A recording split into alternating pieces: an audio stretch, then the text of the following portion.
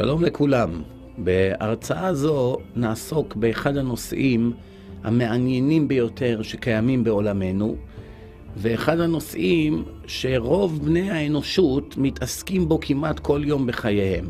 כולנו תמהים מה יעלה בגורלנו ביום שניאלץ להפסיק לחיות.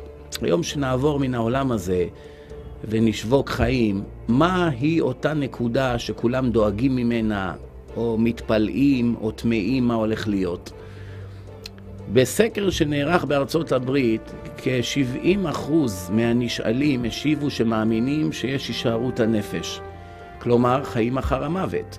בתרבויות שונות, מתוך אלפי דתות וכתות שקיימים בעולמנו באלפי שנים האחרונות, שהתפתחו דת וכת מכל אחת מתוך השנייה, אה, הרבה מתוכם מאמינים שאכן יש הישארות הנפש.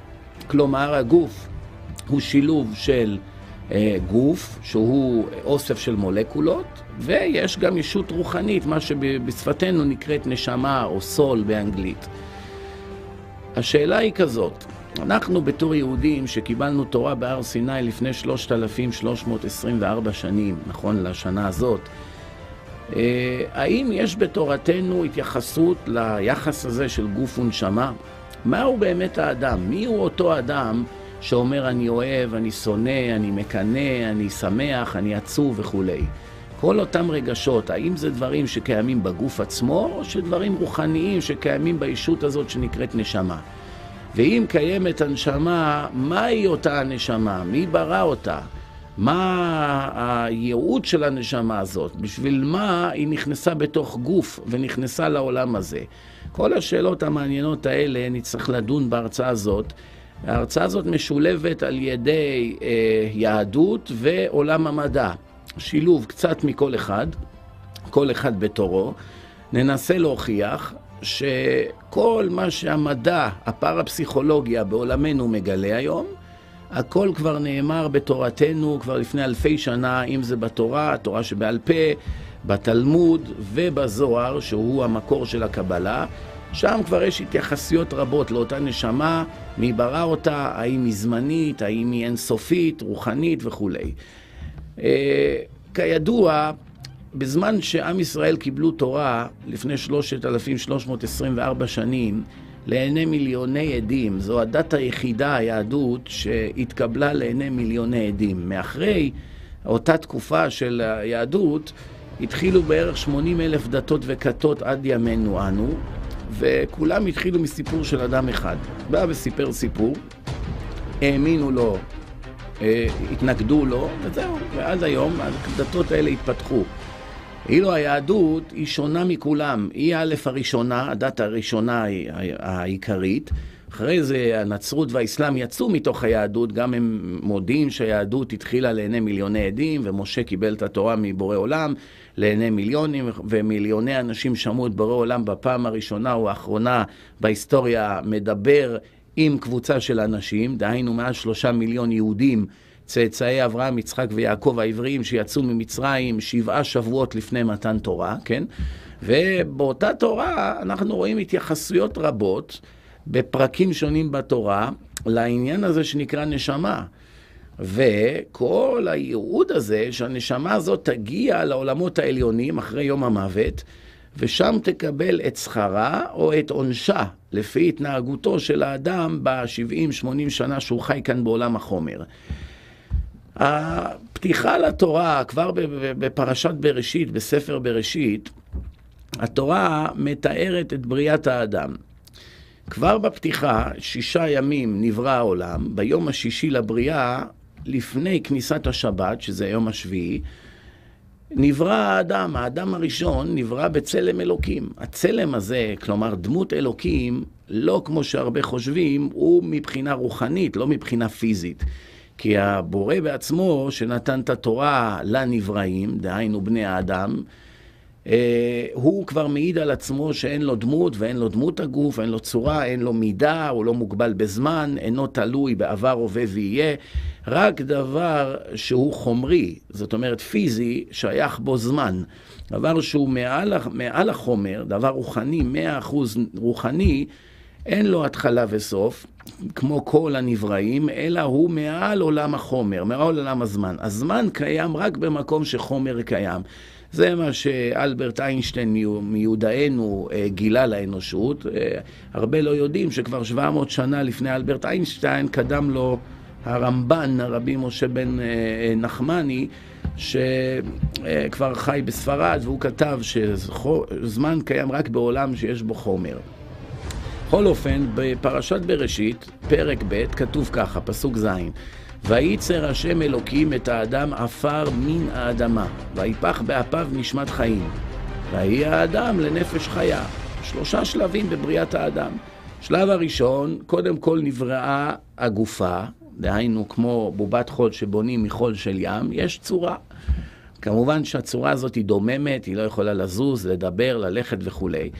והשלב השני, ויפח, מלשון נפיחה, כמו שמנפחים אוויר בבלון, ויפח באפיו, בנחיריו הכוונה, נשמת חיים, הכנס, הכניס בו נשמה חיה, שהיא רוחנית אלוקית, ויהי האדם לנפש חיה. מיד אחרי שנכנסה הנשמה, האדם התחיל ללכת, לדבר. כל פסוק בתורה שבכתב, שהוא התורה המפורסמת שאנחנו מכירים מבתי הכנסת בכל העולם, יש בתורה הזאת 304,805 אותיות, אלפי פסוקים. על כל פסוק ופסוק יש התייחסות והסברים מקיפים בתורה שבעל פה שניתנה למשה רבנו בהר סיני בד בבד, באות, באותו זמן, בד בבד עם תורה שבכתב. זאת אומרת, אי אפשר להתייחס לתורה שבכתב אפילו להוראה אחת, לפסוק אחד, לשם אחד, תאריכים, מאורעות, סדר כרונולוגי וכולי, מלפני שמתבוננים בתורה שבעל פה לעומק, ואז מבינים מה באמת התורה שבכתב מתכוונת. הרבה כתות ודתות שבאו אחרי היהדות וניסו לחקות את היהדות, התעלמו מהתורה שבעל פה והתייחסו רק לתורה שבכתב, ויצא להם קלקול נורא. הם פירשו את הפסוקים של התורה בלשון מילולית, ולכן איבדו את המשמעות לגמרי של רצונו של אותו בורא. למשל, עין תחת עין. אין הכוונה שמי שהוציא לחברו עין, יוציאו גם לו. אלא הכוונה שישלם ממון כנגד הערך של הנזק שהוא גרם. אה, שן תחת שן וכולי, כן? כל הדברים האלה יש להם פירושים קצת יותר עמוקים ממה שזה נשמע בתוכן המילולי, ולכן כאן שכתוב ויפח באפיו נשמת חיים, מתבוננים בתורה שבעל פה, ושם מוסבר שהנשמה הזאת היא חלק אלוה ממעל. זאת אומרת, בורא עולם, שהוא רוחני, כל יכול, נצחי, לקח כביכול ניצוץ מתוך עצמו והכניס אותו בתוך גופו של אדם הראשון. איך שנכנס הניצוץ הנצחי הזה, מה שאנחנו בימינו נקרא נשמה, האדם נהפך לד... לדובר, הוא מדבר, רואה, זוכר, הולך, כן, וכולי, מתקשר עם העולם. מהו, מהי הפעולה ההפוכה מחיים? מוות. איך אדם מת על פי התורה, וישוב העפר אל הארץ כשהיה, כך כתוב בספר קהלת, פרק י"ב, פסוק ז', והרוח תשוב אל האלוקים אשר נתנה. אז יש כאן בדיוק פעולה הפוכה. הנשמה יוצאת מן הגוף, באותה שנייה הגוף נופל לעפר, כעבור כמה חודשים הוא יתאכל בעפר בעזרתם של התולעים והנחשים וכולי, כל הזוחלים למיניהם, והגוף ייעלם, יישארו עצמות, גם אחרי כמה מאות שנים העצמות האלה יתפוררו בעצמם, כן? והנשמה והרוח תשוב אל האלוקים אשר נתנה, הוא נתן אותה. זאת אומרת, אנחנו רואים הכנסת נשמה בגוף האדם, בזמן לידתו בימינו, איך שהאדם נולד, נכנסת בו נשמה, כבר בתהליך של היצירה, 40 יום הראשונים של ההיריון, חלק מהנשמה כבר נכנס, ואז התינוק הוא חי לכל דבר. יש לו דופק, הוא כבר מגיב, יש לו מערכת עצבים מושלמת, כעבור שלושה חודשים הוא אדם לכל דבר. כן? לכן, בזמן היציאה נכנסת עוד חלק מהנשמה בתוך גופו של אותו אדם, והוא נהפך לאדם לכל דבר. בזמן המוות הנשמה הזאת נשלפת מן הגוף, ולגוף אין שום ערך. כשמתבוננים בתורה שבעל פה במסכת נידה בתלמוד, בעמוד ל"א, שם יש הסבר איך בריאתו של האדם מתבצעת. תנו רבנן, משנה, שלושה שותפים יש באדם, הקדוש ברוך הוא ואביו ואימו. שלושה שותפים. בורא עולם בכבודו ובעצמו, אביו הביולוגי ואימו הביולוגית. אביו מזריע הלובן, ה-DNA של האבא, שנכנס בזמן ההתעברות, כן? מזריע הלובן שממנו עצמות וגידים וציפורניים, מוח שבראשו, לובן שבעיניו, הלבן שבעיניים, כן? אמו מזרעת אודם, החומר שבא מהאימא, ה-DNA שהאימא תורמת, ממנו נוצר האור, הבשר, שערות, שערות הראש, כן?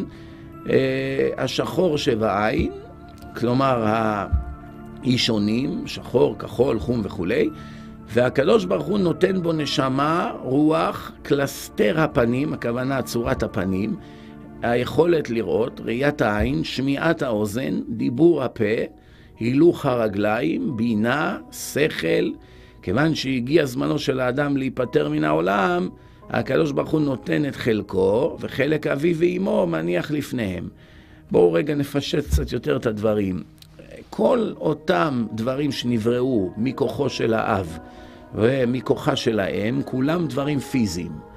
כל הדברים הרוחניים שיש בו באדם, כולם ניתנו על ידי הבורא, כגון יכולת לשמוע, לראות, לזכור, ללכת, לתפקד, לדבר, יכולת לדבר וכולי. כיוון שמגיע זמנו של האדם להיפטר מן העולם, בא הבורא ולוקח את חלקו בתערובת. דהיינו, מאותה שנייה האדם נופל, ואף על פי שיש לו עדיין גוף ואור וגידים ומערכת עצבים וורידים ועיניים ואוזן וכולי, אף אחד מהם לא מתפקדת, אין שום יכולת לתפקד. כיוון שהנשמה נשלפת מהגוף, האיברים שנשארו הם חסרי יכולת. ברגע שהנשמה תחזור כביכול לגוף, מיד האדם מתעורר לחיים.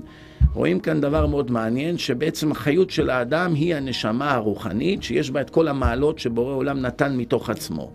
וזה במסכת נידה עמוד ל"א. התורה נתנה ליהודי 613 מצוות לשמור. הגויים, דהיינו העמים שנמצאים בעולם, יש להם חובה לשמור שבע מצוות. זה נקרא שבע מצוות בני נוח. מה זה נוח? נוח היה לפני 4,200 שנה בקירוב, בתקופת המבול, שבא מבול והכחיד את כל האנושות, שחטאו לבורא עולם, ואז התחיל עולם חדש. נוח ואשתו, שלושת בניו ונשותיהם, שמונה אנשים, התחילו עולם חדש.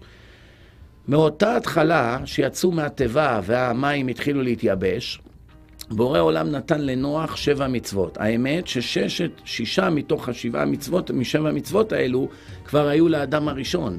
תקופה של בערך 1,500 שנה לפני, האדם הראשון וצאצאיו כבר ידעו שיש שש מצוות לשמור. בא הבורא עולם אחרי המבול, הוסיף עוד מצווה אחת והפך את זה לשבע מצוות בני נוח, וכל האנושות, כולל העבריים, צאצאי אברהם אבינו לעתיד לבוא, כן? כולם היו מחויבים לשמור שבע מצוות, וכל המצוות שתלויות בשכל אנושי, אף על פי שלא ניתנו בבירור על ידי בורא עולם, כמובן שאדם היה מחויב בהם, כן? להיות נחמד, להיות טוב, לא להיות אכזר וכולי, אלה דברים כלליים שכל אדם בר דעת מבין. אחרי בערך 900 שנה מהמבול, יצאו צאצאי אברהם, יצחק ויעקב העבריים ממצרים, מתקופה של 210 שנים של עבדות, יצאו מעבדות לחירות, ושבעה שבועות אחרי יציאת מצרים קיבלו תורה בהר סיני. תורה מלשון הוראה.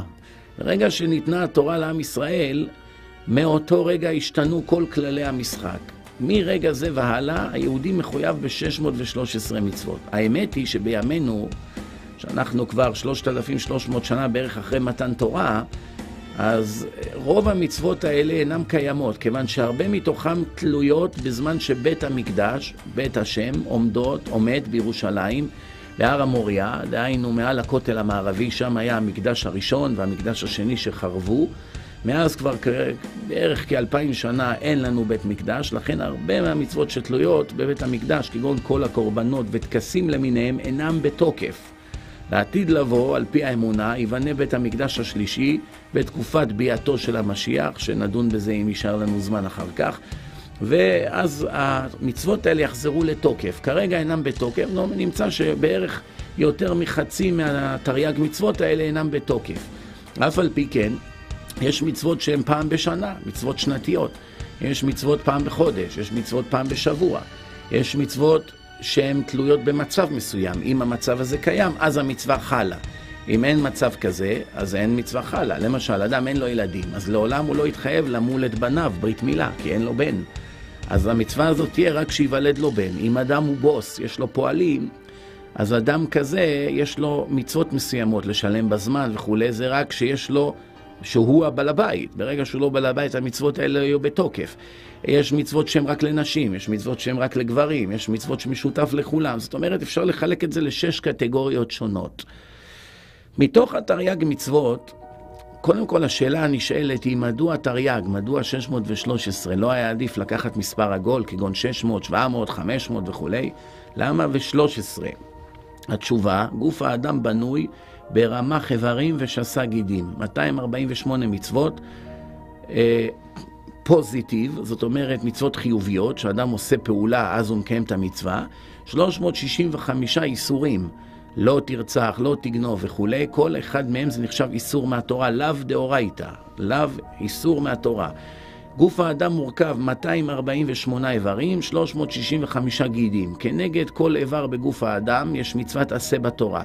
כנגד כל גיד בגוף האדם יש איסור לא תעשה. כך שהאדם מקיים מצווה, המצווה הזאת שייכת לאחד האיברים בגוף. מצווה אחרת שייכת לאיבר אחר בגוף. נמנע מלעשות עבירה, ההימנעות הזאת שייכת לאחד הגידים. בימינו יש דרכים שונות לספור את מספר האיברים והגידים בגוף האדם. למשל, אצבע, האם נספור אותה כאיבר אחד או כשלושה איברים, כי סוף כל סוף עם שלושה איברים שמחוברים עם עצם ביניהם. או כף היד, האם כל כף היד זה איבר אחד, או שבעצם זה 14, כי יש יש חמש אצבעות, שכל אחת מהן שלוש, פלוס שניים באצבעות הקטנות, בסך הכל 14. שתי ידיים זה 28 איברים, או בעצם שני איברים. לכן יש שיטות איך לספור את זה. לכן יש כל מיני מחלוקות בעניין, אבל אנחנו הולכים לפי מה שהתורה לימדה אותנו. 613 חלקים, 248 איברים, 365 גילים, וכך גוף האדם בנוי.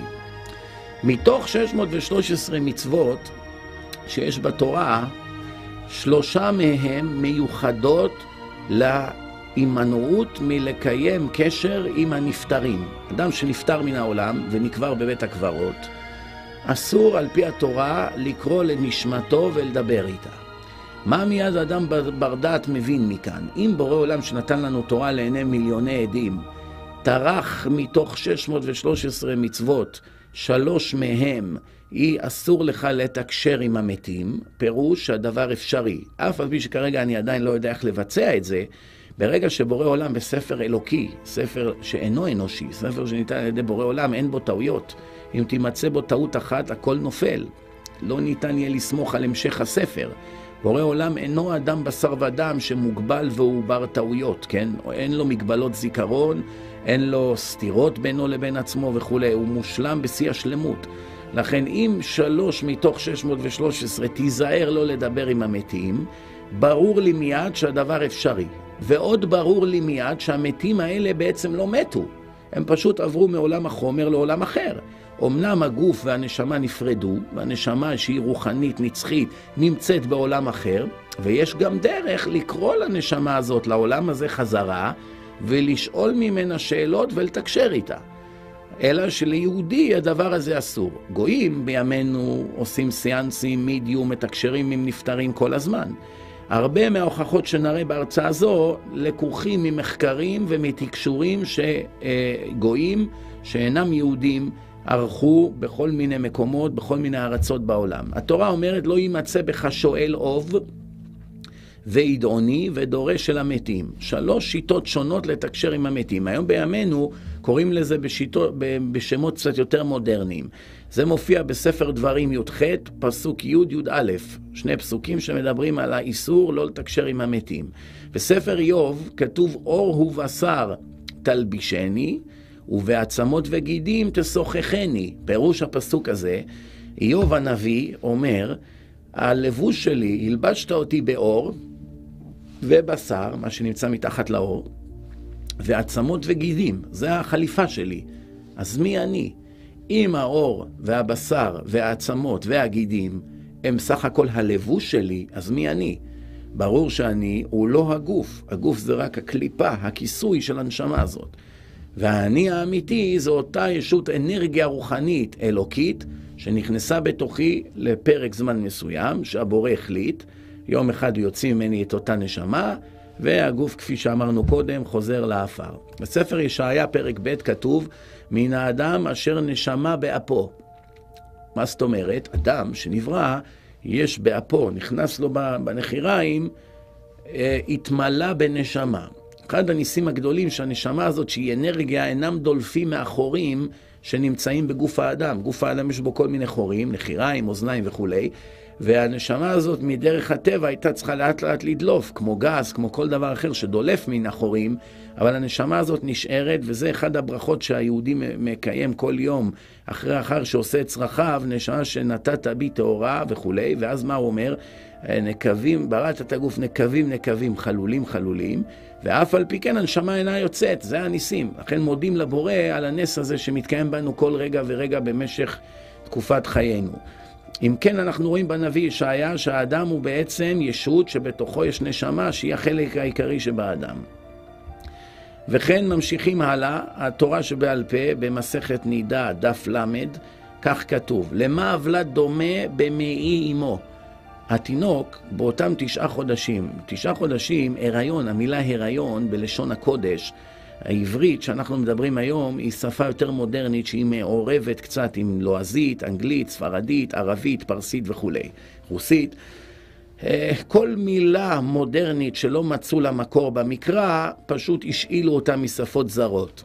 אבל הלשון קודש האמיתית, כפי שהיא מופיעה בתורה, בתלמוד וכולי, שם אה, לשון הקודש יש לה משמעות עמוקה. יש לי הרבה הרצאות בנושא הזה של הסודות בלשון הקודש. כל מילה מעידה על המהות שלה. זו שפה אלוקית, לא שפה אנושית. כל שאר אלפי השפות שקיימות בעולם הומצאו על ידי אנשים כמונו, בשר ודם. שפה היחידה שניתנה על ידי זה שברא את העולם, והיא מלאה באין סוף סודות, שמי שכבר ילמד את השפה הזאת, ממילא הוא מבין שהעולם הזה, יש לו תכלית, ויש לו בורא, ויש דין ויש דיין, ויש חיים אחר המוות, הכל רק מהשפה אפשר להבין. אבל כרגע אנחנו לא, לא עוסקים בסודות של לשון הקודש, אלא אנחנו רק מתבייתים על המילה הריון, שבגימטריה, גימטריה זה ערך מספרי של האותיות, נותן לנו 271, ה' 5, ר' 200, י' 10, ו' 6, נ' זה 50, בסך הכל 271, וההיריון הכי נפוץ שקיים, תשעה חודשים, 271 ימים. זאת אומרת, המילה הריון כבר מעיד על המהות שלו, 271 ימי הריון עד שהעובר יוצא לעולם. ואז הגמרא אומרת, התלמוד במסכת נידה עמוד ל', למה עוולה דומה במעי אמו? כל עוד הוא לא יצא לעולם, למה הוא דומה? התשובה, לפנקס שמקופל, כמו איזה ספרון שמקפלים אותו, הוא מונח, ונר, יש נר רוחני שדלוק לו על ראשו, וצופה ומביט מסוף העולם ועד סופו. מקצה אחד של העולם עד לקצה השני הוא רואה ראייה רוחנית, כמו נביא, שרואה דברים מעבר ליכולת האנושית. כן, הוא מלמד אותו, יש מלאך שמלמד אותו את כל התורה כולה. כיוון שבא לאוויר העולם, בא מלאך וסותרו. יש מלאך שסותרו על השפה העליונה, איזה עניין קבלי מיסטי, ומשככו את כל התורה. מיד נשאלת השאלה, האם הוא למד תשעה חודשים את כל התורה, בלי מגבלות זיכרון, כי זה הכל באופן רוחני טהור, מדוע בסופו של דבר הוא שוכח? התשובה היא כי אחד ה... הניסיונות והמבחנים של האדם בעולם היא ללמוד את התורה על ידי עמל, לעמול, עמל התורה זה נקרא. וזה אחד הניסיונות העיקריים ביותר בחייו של היהודי. אם הכל ניתן לו כמתנה, ודאי שאין לו שום ניסיון ולא מגיע לו שום שכר על זה. עכשיו, שהוא עמל ולומד את זה בכוחות עצמו, כן, רק מה, בתת מודע של האדם, כל התורה הזאת כבר מצויה בתוכו.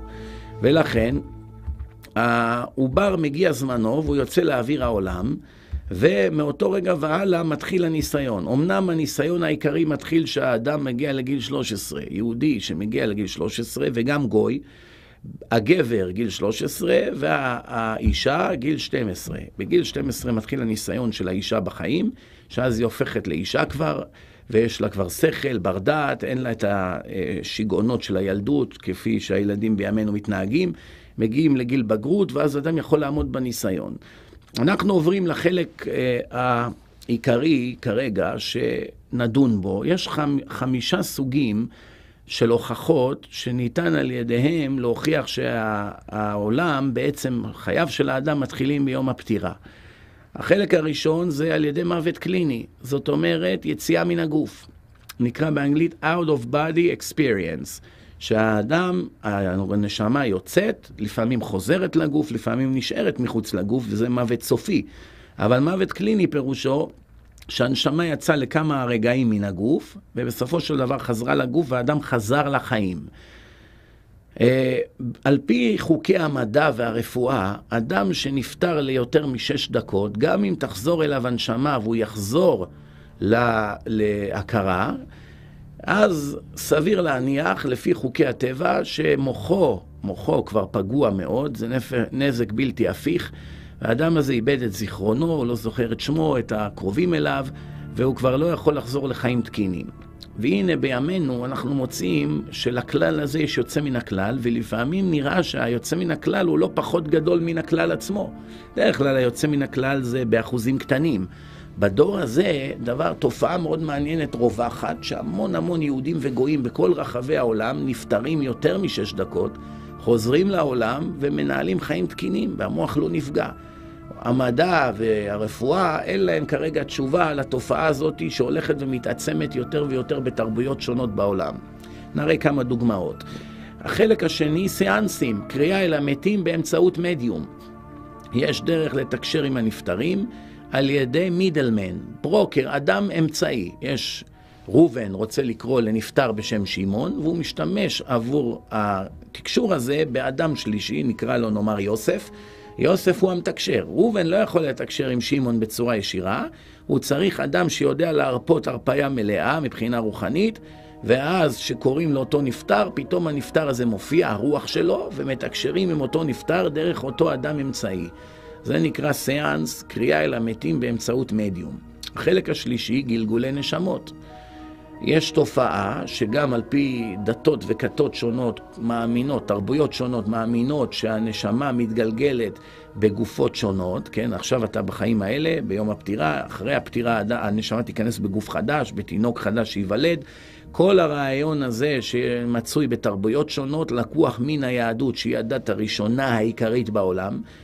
עד היהדות היו רק עובדי אלילים בעולם. ברגע שהתורה ניתנה לעם ישראל, אנחנו נקראים עם הספר. גם הנוצרים, גם המוסלמים, אימצו את התורה שלנו כחלק א' של הדת שלהם, הם אינם מערערים על אף פרט בתורה, ויודעים שהיהודים קיבלו תורה מבורא עולם, ולכן בתורה שלנו מדברים על התופעה הזאת של אדם שבא לעולם בכמה גלגולים, כגון משה רבנו למשל, שחי לפני 3,300 שנה, הוא גלגול של הבל, בנו של אדם הראשון, שנרצח על ידי אחיו קין. קין חזר בגלגול של יתרו, הבל חזר בגלגול של משה, והנה הם נפגשו שוב כעבור אה, בערך אלפיים שנה, והסרט ממשיך מאותה נקודה שהוא הפסיק בגלגול הקודם, ויש אלפי דוגמאות לזה, אין זמן כרגע להעריך. בכל אופן, הרעיון הזה של גלגול נשמות ניתן להוכחה על ידי על ידי עולם המדע. פרפסיכולוגים מוכיחים שיש מציאות כזאת של גלגולי נשמות, נדון בזה מיד. יש דבר נוסף שנקרא רגרסיה, זאת אומרת, זה בעברית נסיגה היפנוטית, שמהפנטים אדם וחודרים לתוך התת מודע שלו, בעצם מבטלים כרגע באופן זמני את המודע, חודרים ישירות לתת מודע, ומשם מוצאים אינפורמציה שמאוחסנת.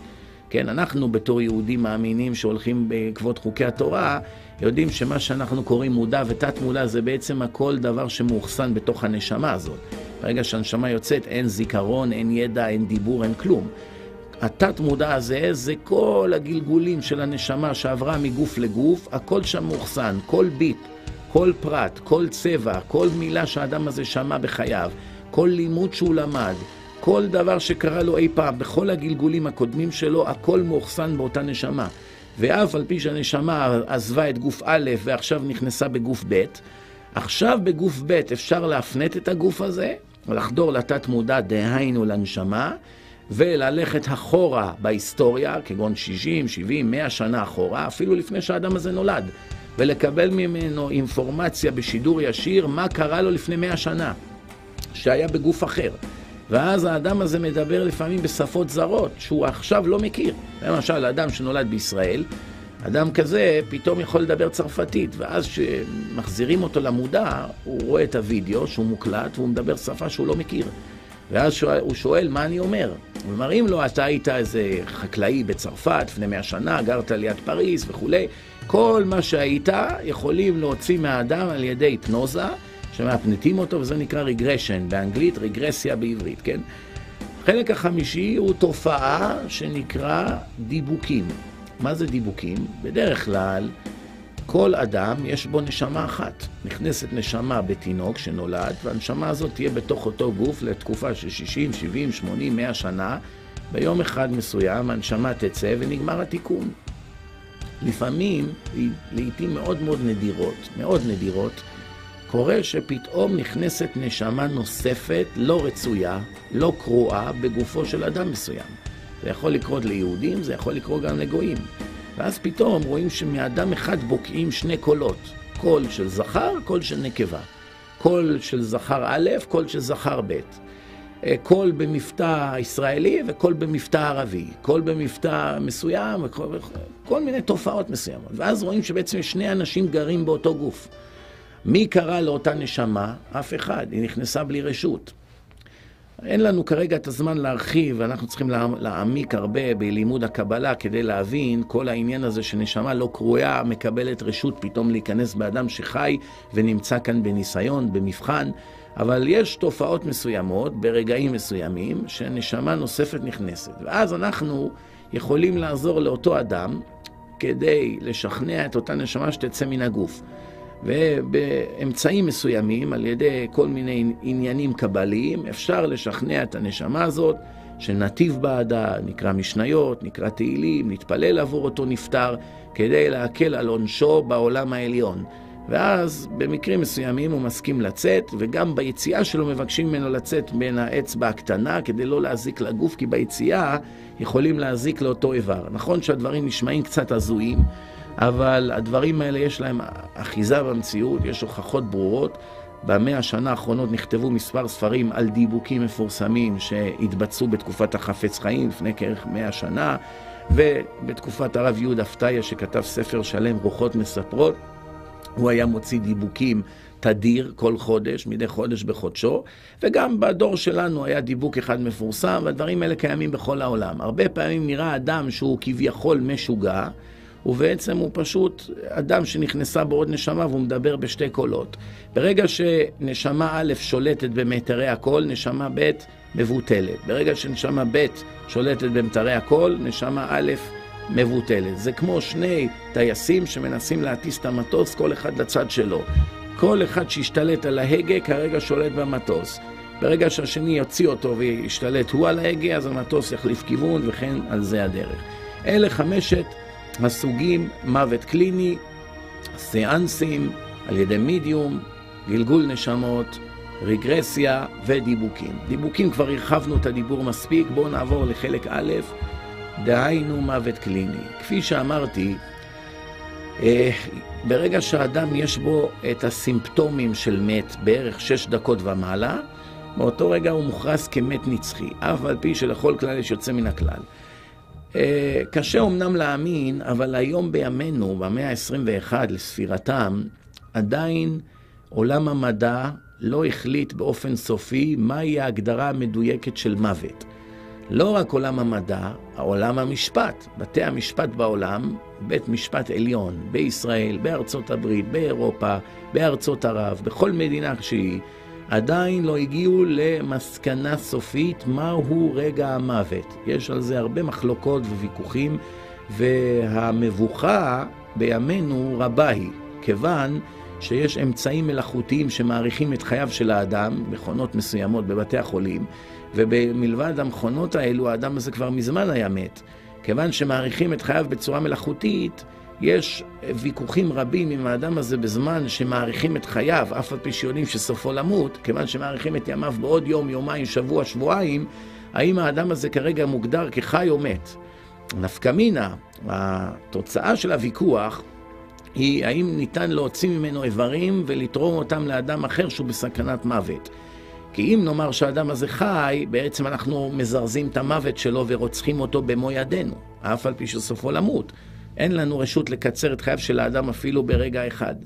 ואם האדם הזה מוגדר כמת, אז אנחנו בעצם עושים מצווה. לא רק שאנחנו לא רוצחים אותו, אנחנו מוצאים ממנו איבר ונותנים אותו לאדם אחר ומצילים את חייו. וכמובן, כולנו שומעים את הוויכוחים האלה בתקשורת, בבתי המשפט. בכל אופן, דבר אחד כולם מסכימים. אם כל הסימפטומים קיימים, אז ודאי האדם מת. מהם הסימפטומים של מוות? א', דום לב, הלב מפסיק לעבוד. ב', היעדר פעילות מוחית. המוח, גלי מוח מפסיקים לעבוד. אין גלי מוח. תאי המוח אינם מקבלים עוד חמצן. זה הסימפטום השלישי. החמצן שמגיע ממערכת הנשימה. בהמשך יש ירידה בטמפרטורת הגוף. לאט, כעבור כמה דקות, הגוף מתחיל לאבד מעלה ועוד מעלה ועוד מעלה עד שהגוף מתקרר. ושיתוק כל האיברים. אין לאדם שום תחושה. אפשר אה, לשרוף אותו, לצרוב אותו, לצוות אותו, להכות אותו, שום תגובה אין. כן? זאת אומרת, מערכת העצבים אינה מתפקדת. אז נחזור שוב. אין פעילות בלב, הלב הפסיק לעבוד. אין גלי מוח, אין חמצן שנשלח אל המוח מהריאות, ירידה בטמפרטורת הגוף ושיתוק כל האיברים. ברגע שיש את כל חמשת הסימפטומים האלה, כולם, גם אנשי דת למיניהם, גם אנשי מדע, רפואה, שופטים, אורחי, כולם מסכימים שהאדם הוא נפטר לכל הדעות. בזמן התורה הדברים היו הרבה יותר פשוטים. בתורה כתוב, לכל אשר נשמה באפו, כל מי שמסוגל לנשום, נחשב חי. ברגע שהאדם מפסיק לנשום, כעבור דקה-שניים, הוא מת, הוא לא יכול יותר לחיות. עד שהומצאו כל האמצעים הטכנולוגיים שיש בדורנו, התשובה הייתה פשוטה מאוד. אדם אינו נושם, יודעים שהוא מת. כל עוד הוא נושם, יודעים שהוא חי. ברגע שהומצאו כל המכונות האלה, התחילה המבוכה והדילמה. אבל ברגע שכל חמשת הסימפטומים קיימים, כולם מודים שהאדם הזה נפטר. בואו נראה כמה דברים אה, בימינו יש אה, עולם שנקרא פרפסיכולוגיה. יש פסיכולוגיה, יש פרפסיכולוגיה. פרפסיכולוגיה דנים בעניינים רוחניים, דהיינו הישארות הנפש, זה בדרך כלל קרדיולוגים ופסיכולוגים למיניהם שמראיינים אנשים שנפטרו וחזרו לחיים. בהרצאה הזאת אני מביא ראיות מגדולי הפרפסיכולוגים בעולם.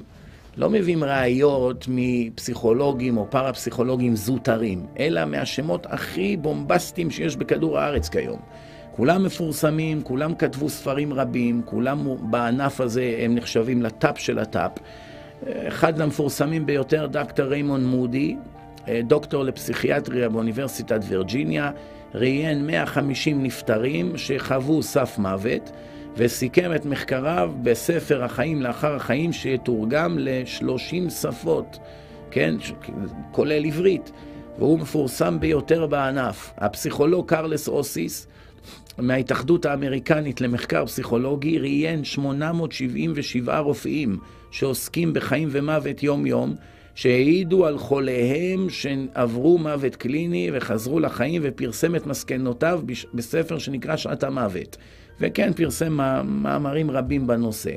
דוקטור קנט רינג, פרופסור לפסיכולוגיה מאוניברסיטת קונטיקט, שחקר במשך שנתיים 102 נפטרים ופרסם ספר על מוות קליני, החיים במוות, זה השם שלו, וכמובן מאמרים רבים ורעיונות רבים. דוקטור ג'ורג' ריצ'י, נשיא האקדמיית ריצ'מונד לרפואה ויושב ראש המחלקה הפסיכיאטרית בבית חולים טאוורס, ערך מחקר מקיף והעלה את ממצאיו בספר שנקרא חזרה מן המחר. אה, דוקטור, הגדולה מכולם אה, בדורנו, דוקטור אליזבת קובלר רוס, שהיא מאוניברסיטת דיטרויט, היא פסיכיאטרית מומחית בעלת שם עולמי בנושא ההיבטים הפסיכיאטריים, שהיא בחנה את הנושא במשך עשרים שנה יום-יום של עבודה יום-יומית, יום 20 שנה למעלה מאלף מקרים של אנשים שהתנסו בחוויה של סף מוות, שמתו וחזרו לחיים. ופרסמה ספרים אה, על מיתה ומוות ומאמרים מדעיים רבים, והיא אחת מה, מהאושיות המפורסמות ביותר בכל התחום הזה. אנחנו עוד מעט נקרא חלק מה, מהממצאים שלה. דוקטור מוריס ראולינגס, קרדיולוג מאוניברסיטת טנסי, חקר 300, חוק... 300 חולים שנפטרו וחזרו לחיים ופרסם ספר מעבר לסף המוות. דוקטור פרד שונ, שונמייקר, קרדיולוג בבית החולים דנבר, חקר יותר מאלף מקרים של נפטרים שחזרו לחיים. אה, את החוויה הזאת שנקראת מוות קליני חוו מיליוני אנשים בעולם, בתרבויות שונות, שפות שונות, זכרים, נקבות וכולי. כל הגילאים, זה יכול להיות מילדים קטנים עד מבוגרים ביותר. אה, מכון גלופ בארצות הברית חקר את התופעה ומצא ששמונה מיליון אמריקאים בארצות הברית דיווחו שנפטרו, וכעבור דקות מספר חזרו לחיים. בעולם מוערך מספר הנפטרים שדיווחו על פטירתם וחזרתם לחיים במעל 30 מיליון. אמנם בהשוואה לשבעה מיליארד אנשים, 30 מיליון זה אחוז קטן, אבל ידוע שרוב האנשים אינם טורחים אפילו ללכת ולדווח, הם רואים את זה כתופעה לא מוסברת וחוזרים לחיים תקינים. זאת אומרת, ייתכן שיש מאות מיליוני אנשים שנפטרו וחזרו לחיים, בכל אופן מדובר כאן באחוזים קטנים. אה, בואו נתאר כמה מאותם תיאורים שמתארים לנו אותם נפטרים שחזרו לחיים. כשנשמע את סיפוריהם נראה שיש אלמנטים מש... אה, מסוימים שחוזרים על עצמם, אלמנטים משותפים בין ביהודים, בין בגויים, בישראל, בארצות הברית, בכל פינה בעולם, כולם חוזרים בערך על אותו סיפור. דבר שקשה מאוד להסביר אותו מבחינה שכלית. כל הנפטרים בכל פינה בעולם, כולם חוזרים על אותו סרט. עם אותם אלמנטים. יש כאלה שהגיעו רחוק יותר, יש כאלה שהגיעו רחוק פחות, אבל מתחילת הסיפור, שלב א', ב', ג', ד', כולם חוזרים על עצמם מאלף עד ת'. האם התופעה הזאת מקרית? האם תיתכן קונספירציה בין מיליוני אנשים מתרבויות שונות, מעמים שונים, בלי קשר ביניהם, לא לשכוח, הממצאים האלה התחילו להתפרסם לפני האינטרנט. לפני שהיה כבר בכל העולם טלפונים ותקשורת וכולי, כבר דיווחו על זה אנשים בכל פינה בעולם. האם הדבר הזה היא מקרי? ודאי שלא. לא ייתכן שכולם מספרים את אותו סיפור מבלי שיתאמו את זה ביניהם בצורה מלאכותית, כן? הדבר הראשון, האלמנט הראשון, איך שאדם נפטר, התחשמל, תאונה, התקף לב וכולי, הדבר הראשון שכולם מדווחים, יציאת הנשמה מן הגוף. הגוף נפל, הגוף זרוק במכונית, הגוף על שולחן הניתוחים, הגוף על הרצפה, והנשמה מרחפת מיד מעל הגוף. זאת אומרת, אדם רואה את עצמו כמו עלה שעף ברוח מעל אותו גוף שזה הגוף של עצמו. הוא מסתכל על הגוף של עצמו והוא רואה שבעצם יש שניים. אחד זה הגוף הזה ששוכב בלי תזוזה, והוא שעדיין מתקשר ומתחבר לעולם הזה, שומע, רואה, רק לא יכול להשמיע קול. וכן, אין בו יותר גשמיות, אין לו גוף, לכן הוא לא יכול להרים את הטלפון למשל. יש כאלה שנפטרו ודיווחו שהם רוצים להתקשר למוקד חירום, רק על יד לא מרימה את הטלפון בגלל שאין חומר, רק חומר מזיז חומר. וברגע שרק אנחנו מדברים על נשמה טהורה מבלי הקליפה, מבלי הגוף, אין לה את היכולת להזיז עצמים חומריים שיש לנו בעולם. דבר מאוד מעניין. אז הנשמה היא מעל הגוף ומרחפת בסביבה. אחר כך הנשמה נכנסת במנהרה שבתחילה היא אפלה, ואחר כך היא מתחילה להתבהר על ידי אור שהולך ונהיה חזק יותר מרגע לרגע. עד שזה נהפך לאלומה ענקית, זרקור ענק שאין דוגמתו בכדור הארץ, ולמרות שהוא חזק מאוד, אינו מסנוור את הנפטרים. הם יכולים להסתכל בצורה ישירה אל תוך האור, ולתקשר מבחינה רוחנית עם אותו אור בצורה שהם מעולם לא חוו בעולם הזה. מין קשר אהבה כזאת רוחנית טהורה שאין כדוגמתה בעולמנו אנו. אחר כך, השלב הבא, מתחילים לראות קרובי משפחה וחברים שנפטרו מן העולם, שלאט לאט מופיעים הדמויות שלהם בחלל האוויר. והדמות הזאת, האור הזה, הענק, מתחיל לתקשר איתם בצורה רוחנית, מה שנקרא בימינו טלפתיה, זאת אומרת על ידי העברת מחשבות. אין קול, קול לא נשמע, אבל הקול הוא בצורה דמיונית, זאת אומרת מדמיון לדמיון, מתקשרים, כל מה שהאדם רוצה לומר, מיד האור מבין, וכל מה שהאור רוצה לומר, מיד האדם מבין. צורה אחרת של התקשרות, בצורה הרבה יותר מהירה, עם הרבה העברת דאטה של אינפורמציה שעוברת במהירות אדירה, אה, הרבה יותר מהיר ממה שיש קיים בעולמנו, אבל הכל ברור כשמש. השלב הבא, כן, אה, מתחילים לראות סרט. לא סרט וידאו רגיל, אלא סרט שעל ידי העברת תמונות, יכול להיות אלפי או מיליוני תמונות, במהירות מהירה מאוד, מרגע הלידה עד רגע המוות. תמונה אחר תמונה, הם רצים בקצב רצחני, והאדם זוכר את כל המאורעות, כיוון ששם אין מוגבלות. הנשמה היא התנתקה מעולם החומר, אין לה יותר מגבלות חומריות. ואז האדם רואה, יש תקופה של 50, 60, 70, 100 שנה שעברו לו כל רגע ורגע בחיים בתמונות מהירות מאוד של כל מאור, מאורעות חייו. ולא רק זה, גם כל תמונה שהוא רואה, הוא מבין את כל המהלך, לשלילי, לחיובי וכולי. אה, הכל ברור. אה, בואו נשמע אה, כמה מהתיאורים של אותם נפטרים. הייתי למעלה, והבטתי איך הם עובדים עליי, הרופאים בחדר ניתוח. ראיתי ששמו את השקס, הלם חשמלי, על החזה. ראיתי את גופי מנטר מהזרם, ברגע זה נפלתי כמו משקל כבד בחזרה לתוך גופי.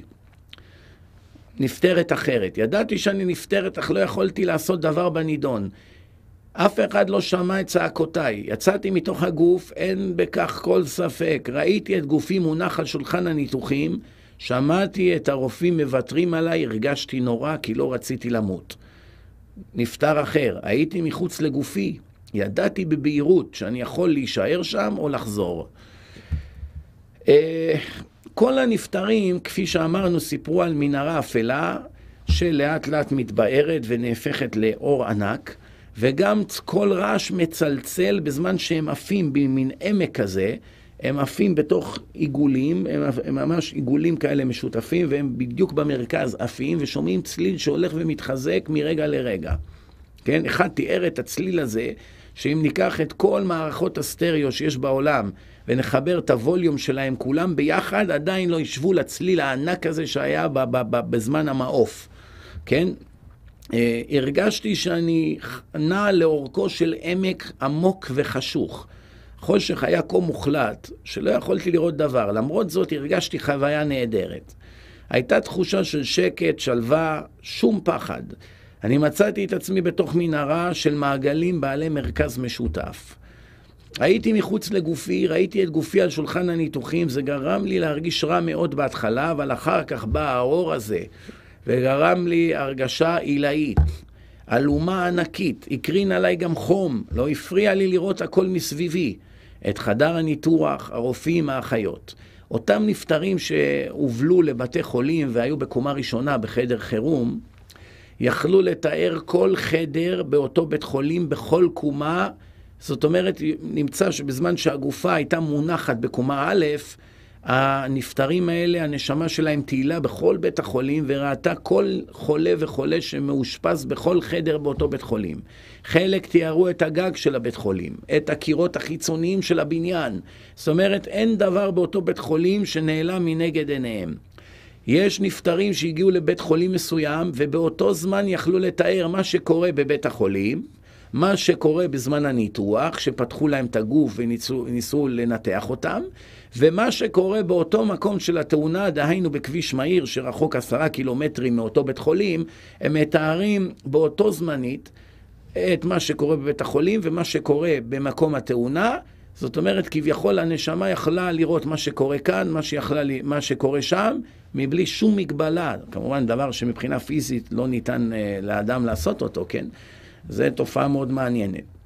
חלקם ראו מה שמעל התקרה. אמרו לרופאים, אם תפתח את התקרה, תראה שיש חוט מסוים מנותק מהמנורת פלורסן. והלכו ובדקו וראו שהם יודעים. זאת אומרת, אדם מחלום לא יכול היה לדעת כאלה דברים, אלא מובן שהנשמה באמת יצאה מהגוף ותהילה בבית החולים. כן, חלק דיווחו שהגיעו עד מקום מסוים שיש שם קו. מין קו כזה שמפריד בינם לבין האור. וכולם מבינים באופן טלפתי שאם חוצים את הקו הזה, אין דרך חזרה. כל עוד לא חצית את הקו, יש אפשרות שאולי תחזור לעולם החומר. הרגע שחצית, אתה מבין ש- there is no return, אין שום דרך לחזור.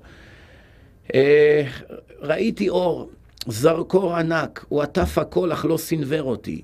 ראיתי את חדר הניתוחים, האור שאל אותי אם אני מוכנה למות. הייתה לי הרגשה כאילו אני מדברת עם אדם, אך זה לא היה אדם, זה היה האור שדיבר איתי. ידעתי שהאור יודע עליי הכל, וידע שאינני מוכנה למות. הייתה לי הרגשה כאילו אני נבחנת. הרגשתי כל כך טוב, הרגשתי ביטחון ואהבה קשה לתאר. כאן המקום להעיר הערה שכל אותם נפטרים שדיווחו על פטירתם וחזרתם לחיים, דיווחו רק על כמה דקות שהנשמה יצאה מהגוף. כעבור כמה דקות הנשמה חזרה לגוף. כשמתבוננים מה התורה מדברת, עוד מעט נראה שכל התופעות האלה שהם מדווחים כבר כתובים בתורה ובקבלה מלפני אלפי שנים, יש המשך לסיפור.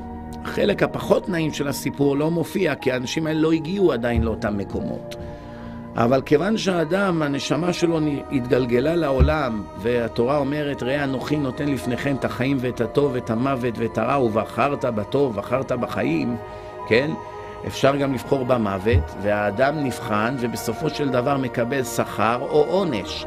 אם בחר בדרך המומלצת על ידי הבורא, סופו לקבל שכר רוחני נצחי, בעולם הבא. ואם מרד בבוראו והתעלם מההוראות, כפי שאמרתי, תורה מלשון הוראה, הוא צפוי לעונשים, חלקם אפילו קשים ביותר. לכן, האנשים האלה לא הגיעו לאותם עולמות של שכר או אותם עולמות של עונש עדיין. העולמות האלה של שכר ועונש, האדם מגיע אליהם רק אחרי שנשפט בבית דין של מעלה. תקופת המשפט, 12 חודש, שנה שלמה. לכן מקובל ביהדות מאז ומתמיד, מאז שהתורה ניתנה, גילה לנו בורא עולם שכיוון שהמשפט לוקח י"ב חודש, 12 חודש, מועיל לנפטר שצאצאיו, דהיינו בניו, יאמרו עליו תפילת קדיש. כפי שאומרים על הנפטרים, גם בזמן הלוויה, גם בזמן האזכרה, ושנה מיום הפטירה. נשאלת השאלה, מדוע שנה? התשובה, כי שנה האדם הזה עדיין נשפט לטוב או לרע.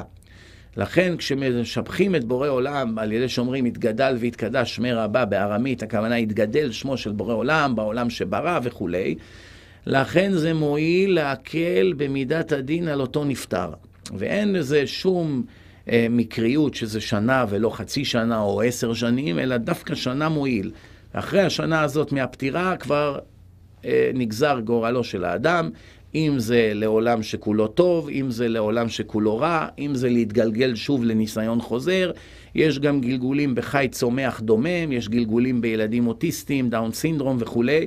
כל זה מוחלט בבית דין של מעלה לפי חייו האחרונים של אותו נפטר. אם עשה טוב, למד תורה, נתן צדקה, היה אדם הגון, ישר, ועשה נחת רוח לבוראו, הרוויח בגדול. ואם עשה את כל ההפך ממה שציינתי, אוי לו ואוי לנשמתו. זו המסקנה בכמה מילים על תכלית החיים, שכמובן זה לא הנושא שלנו היום, אנחנו מוכיחים מדעית שיש הישארות הנפש ויש חיים אחר המוות. ומכאן והלאה המבין יבין מהם ההשלכות על חייו האישיים ועלינו כאנושות. נתקדם הלאה. אה, כל המעידים סיפרו שקרובים וידידים שנפטרו באו לקראתם כביכול להדריכם בדרך. במהרה מופנה תשומת ליבם לדמויות אחרות הנמצאות שם, ידידים, קרובים, שיוצרים איתם קשר טלפתי. אה, חלקם דיווחו שהקשר היה בברכה וחלקם פחות בברכה. זה כמובן תלוי כמה האדם הזה צדיק או רשע, כן? אלה כולם היו אנשים שהכרתי ונפטרו כבר. ראיתי את סבתי, ראיתי ילדה שהכרתי מבית ספרי, ראיתי אותם בבירור, קלסתר פניהם, גופם וכולי. הרגשתי אה, נוכחותם של המון קרובים וידידים שנפטרו מרחפים מסביבי. הרגשתי שבאו לקבל את פניי. ראיתי את חברי, לא בגופי החומרי, אלא בשכלי, אך בבירור, פרצופו, ידיו, רגליו, הכל, כן? נתקדם הלאה. גוי, אדם שאינו יהודי, מדווח על פטירתו. שימו לב מה הוא אומר. הוא אומר ככה, מאוד התביישתי מהרבה דברים שראיתי. הראו לי מה לא נכון. חשבתי, הלוואי שלא עשיתי את הדברים האלה.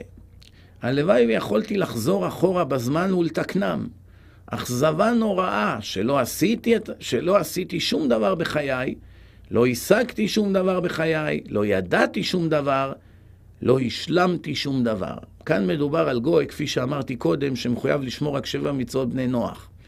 ברגע שהוא שומר את השבע מצוות, הוא נחשב גוי צדיק, ויש לו חלק לעולם הבא לפי רמתם של הגויים. הניסיון הוא קל, השכר הוא קטן. הניסיון קשה יותר, השכר הרבה יותר גדול, כן? אותו גוי שהניסיון שלו הוא די קל, לא תרצח, לא תגנוב, לא לעבוד אלילים, לא לעשות גילוי עריות, מערכת שופטים ושוטרים, ולהאמין באל אחד ולאהוב אותו, כן? אז ברגע שהגוי מקיים את המצוות האלו, כן, ממילא הוא כבר נחשב גוי צדיק.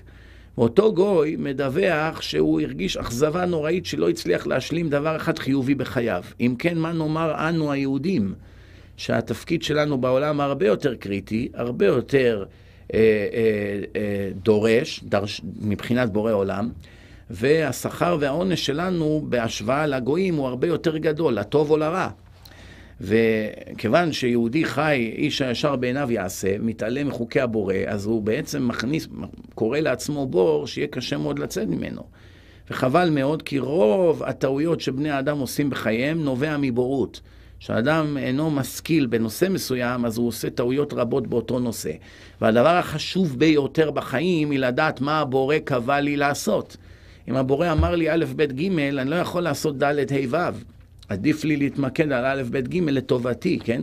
למענך, למען יטב לך ובניך עד עולם, כתוב בתורה. להטיבך באחריתך.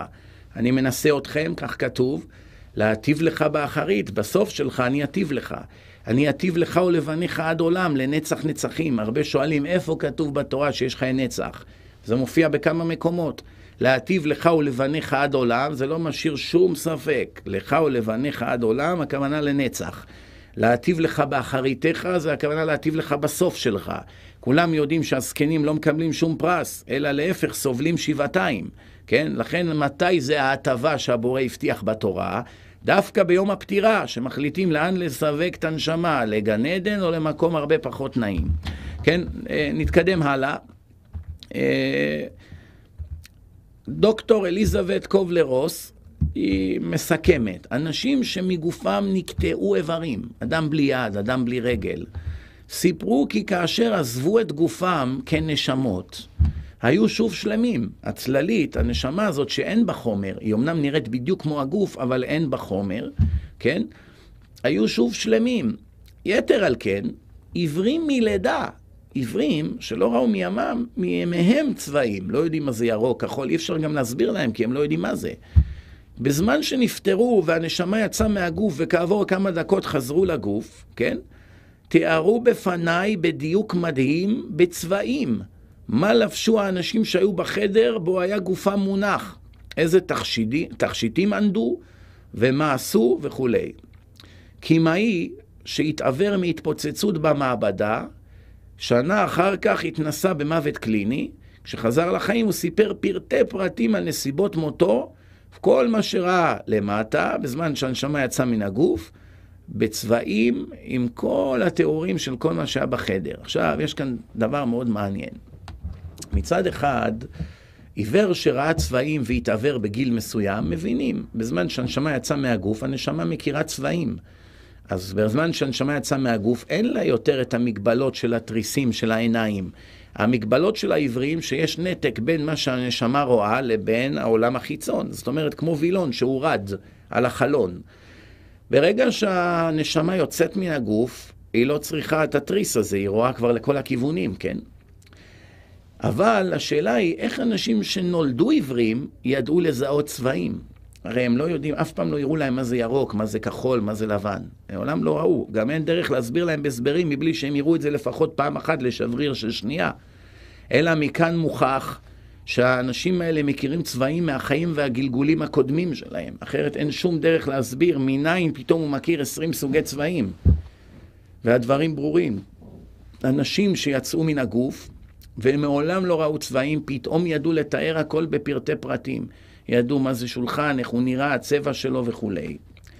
דבר שלא משאיר שום ספק, שכל המגבלות שיש לנו בגוף הן מגבלות הגוף, שמעיבות על הנשמה. ברגע שהנשמה התנתקה מהגוף, אין יותר לא מגבלות של חומר, של זיכרון, של טווח ראייה, של טווח שמיעה, של כל מה שקרה בכל הגלגולים, הכל ברור כשמש.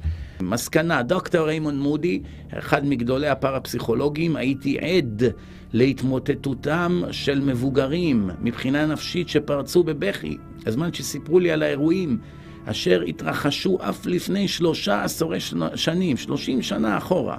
חוזרים ומתחילים לבכות מהתרגשות. גיליתי בקולם אמיתיות ורגש, שבאמת אי אפשר למסור אותם בדוח כתוב. לכן, המחשבה כאילו הדוחות האלה הם בדויים, היא בלתי אפשרית לחלוטין. בנוסף, לדעתי, יש גם מספר שיקולים נכבדים שצריכים להכריע נגד אה, אה, הנחות בדותות, הכוונה דברים בדויים, כן? הבולט ביותר הוא איך כולם מתרבויות שונות, משפות שונות, כולם מדווחים על אותה תופעה שחוזרת על עצמה, אף על פי שלא היה שום קשר ביניהם. אה, מסקנה, דוקטור אליזבת קובלר רוס, אני יודעת מעבר לכל צל של ספק, כי החיים ממשיכים לאחר המוות הפיזי, אלה שפתוחים לשמוע ישמעו, ואלה שאוטמים את אוזניהם יזכו להפתעה. אני יודעת מעל כל צל של ספק שיש חיים לאחר המוות. כך גם כתב דוקטור קנט רינג וכל שאר הפרפסיכולוגים, מסקנה בלתי נמנעת, קיימים באדם מציאות רוחנית הנפרדת מן הגוף בשעת מותו וממשיכה להתקיים. עכשיו נעבור ליהדות, הוכחות מהתורה, מהגמרא ומהזוהר. על מציאות שנקראת הישארות הנפש, גוף ונשמה, גוף זמני, נשמה נצחית.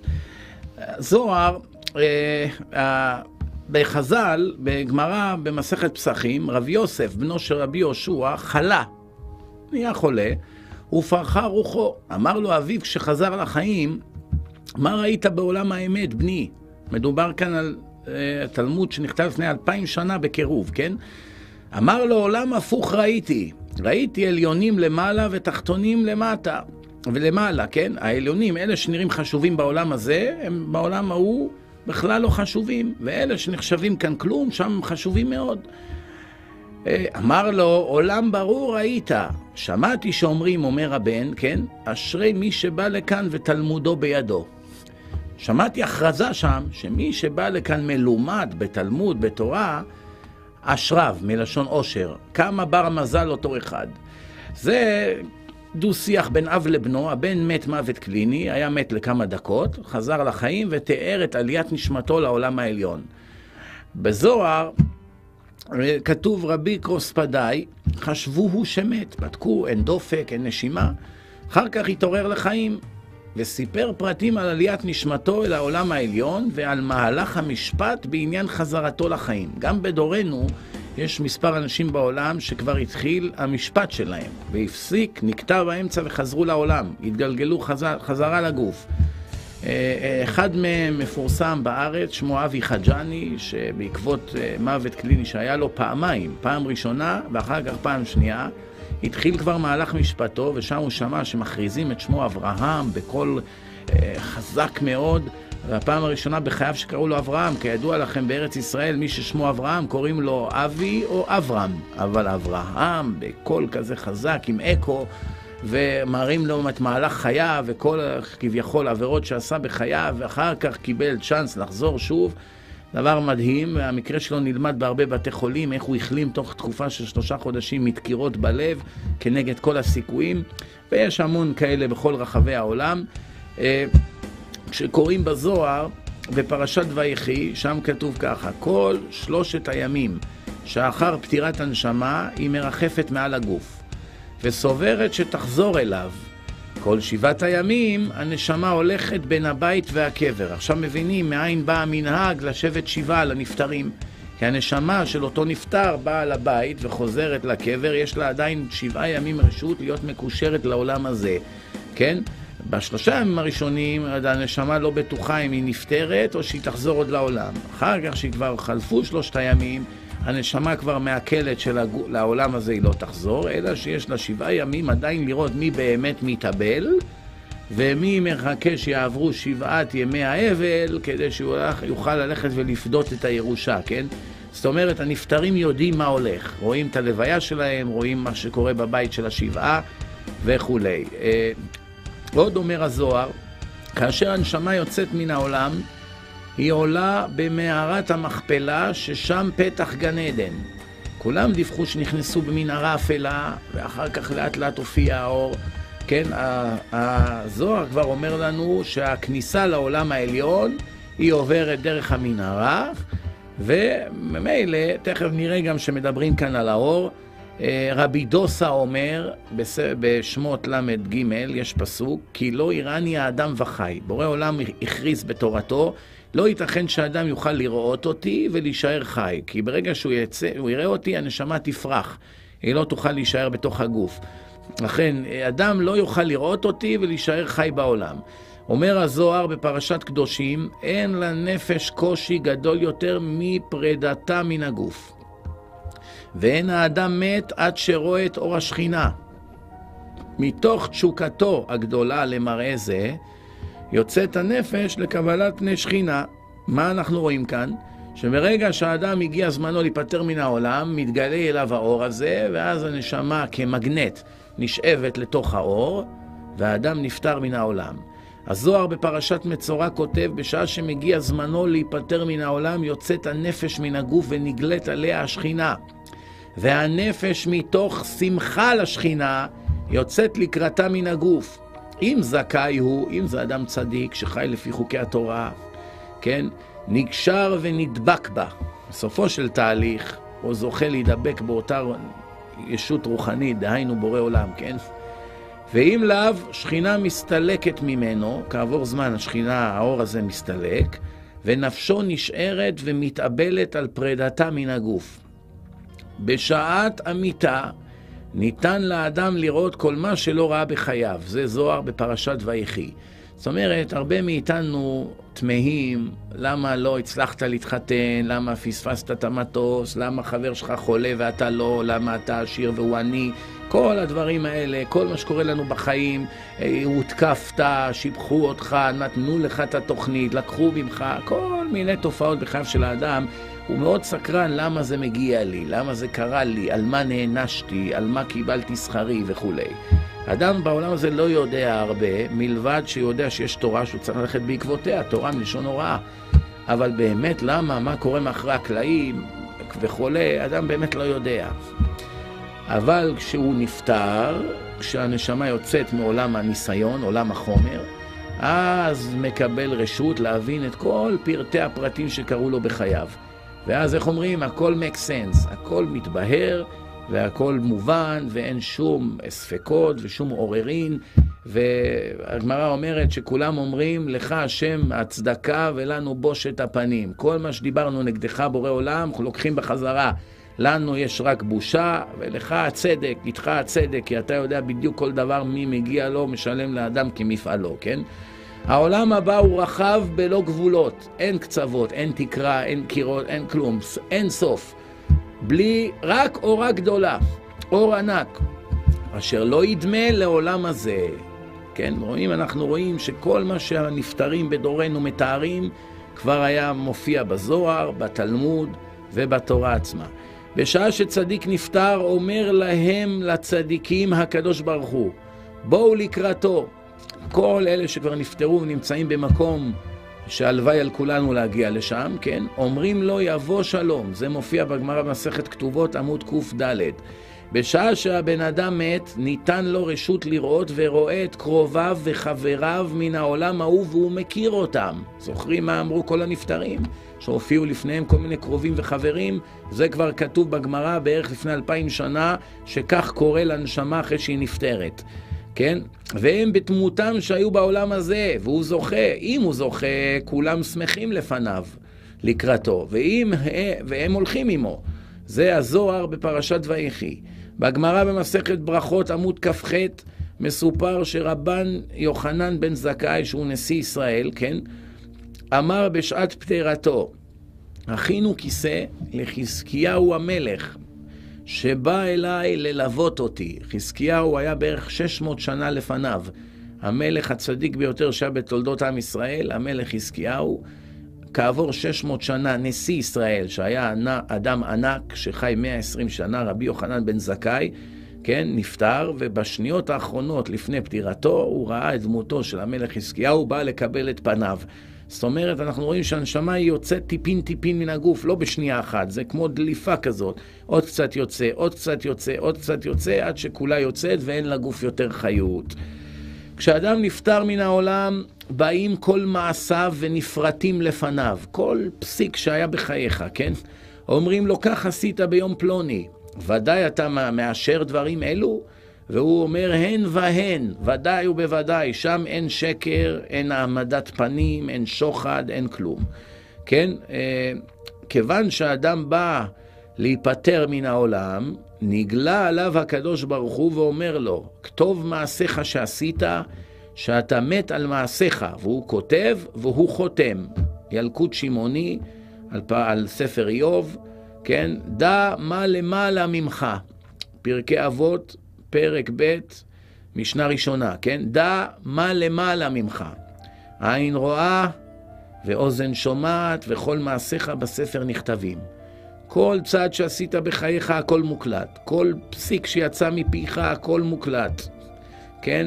עין רואה, עין תמיד מתבוננת בך, ואוזן תמיד שומעת, וכל מעשיך בספר נכתבים. אם אדם היה מודע שכל עבירה שהוא עושה בחדרי חדרים, סופו שידונו אותו עליה על מסך גדול לעיני כולם בבית דין של מעלה, ודאי שלא היה מעז לעשות אחוז מכמות העבירות שהוא עושה היום. אלא האדם, על ידי היצר הרע שמשכיח אותו מתכלית החיים, מתפקידו בעולמו, כן? כמו שהרמח"ל, רבי משה חיים לוצטו, בספרו האגדי, מסילת ישרים, שנכתב בערך לפני 200, 250 שנה, ספר מוסר הנפוץ ביותר שהיה אי פעם, שם הוא פותח את ספרו בפרק א' על חובתו של האדם בעולמו. שכל אדם חייב להבין מה מגמתו, מה הכיוון שלו בחיים, מה תכלית בריאתו, למה נבראתי עם התכונות שלי, למה נבראתי זכר, למה נבראתי נקבה, למה נבראתי חכם, למה נבראתי טיפש, למה נבראתי גדול וחזק, למה נבראתי חלשלוש. כל הדברים האלה זה בהתאם לייחוד שלי בחיים. אדם עם כושר דיבור, אדם שבקושי מדבר, אדם שיש לו זיכרון חזק, אדם פחות... כל דבר מנתבים אותך לפי התיקון שלך בחיים. ושום דבר בוודאי ובוודאי לא מקרי, גם צורת הגוף, גם המראה שלך, הקול שלך, כל דבר הוא בהתאם לניסיון שבורא עולם טבע עבורך. כן? ולכן אדם שלא מבין את תפקידו בעולם, ודאי ובוודאי לא יצליח.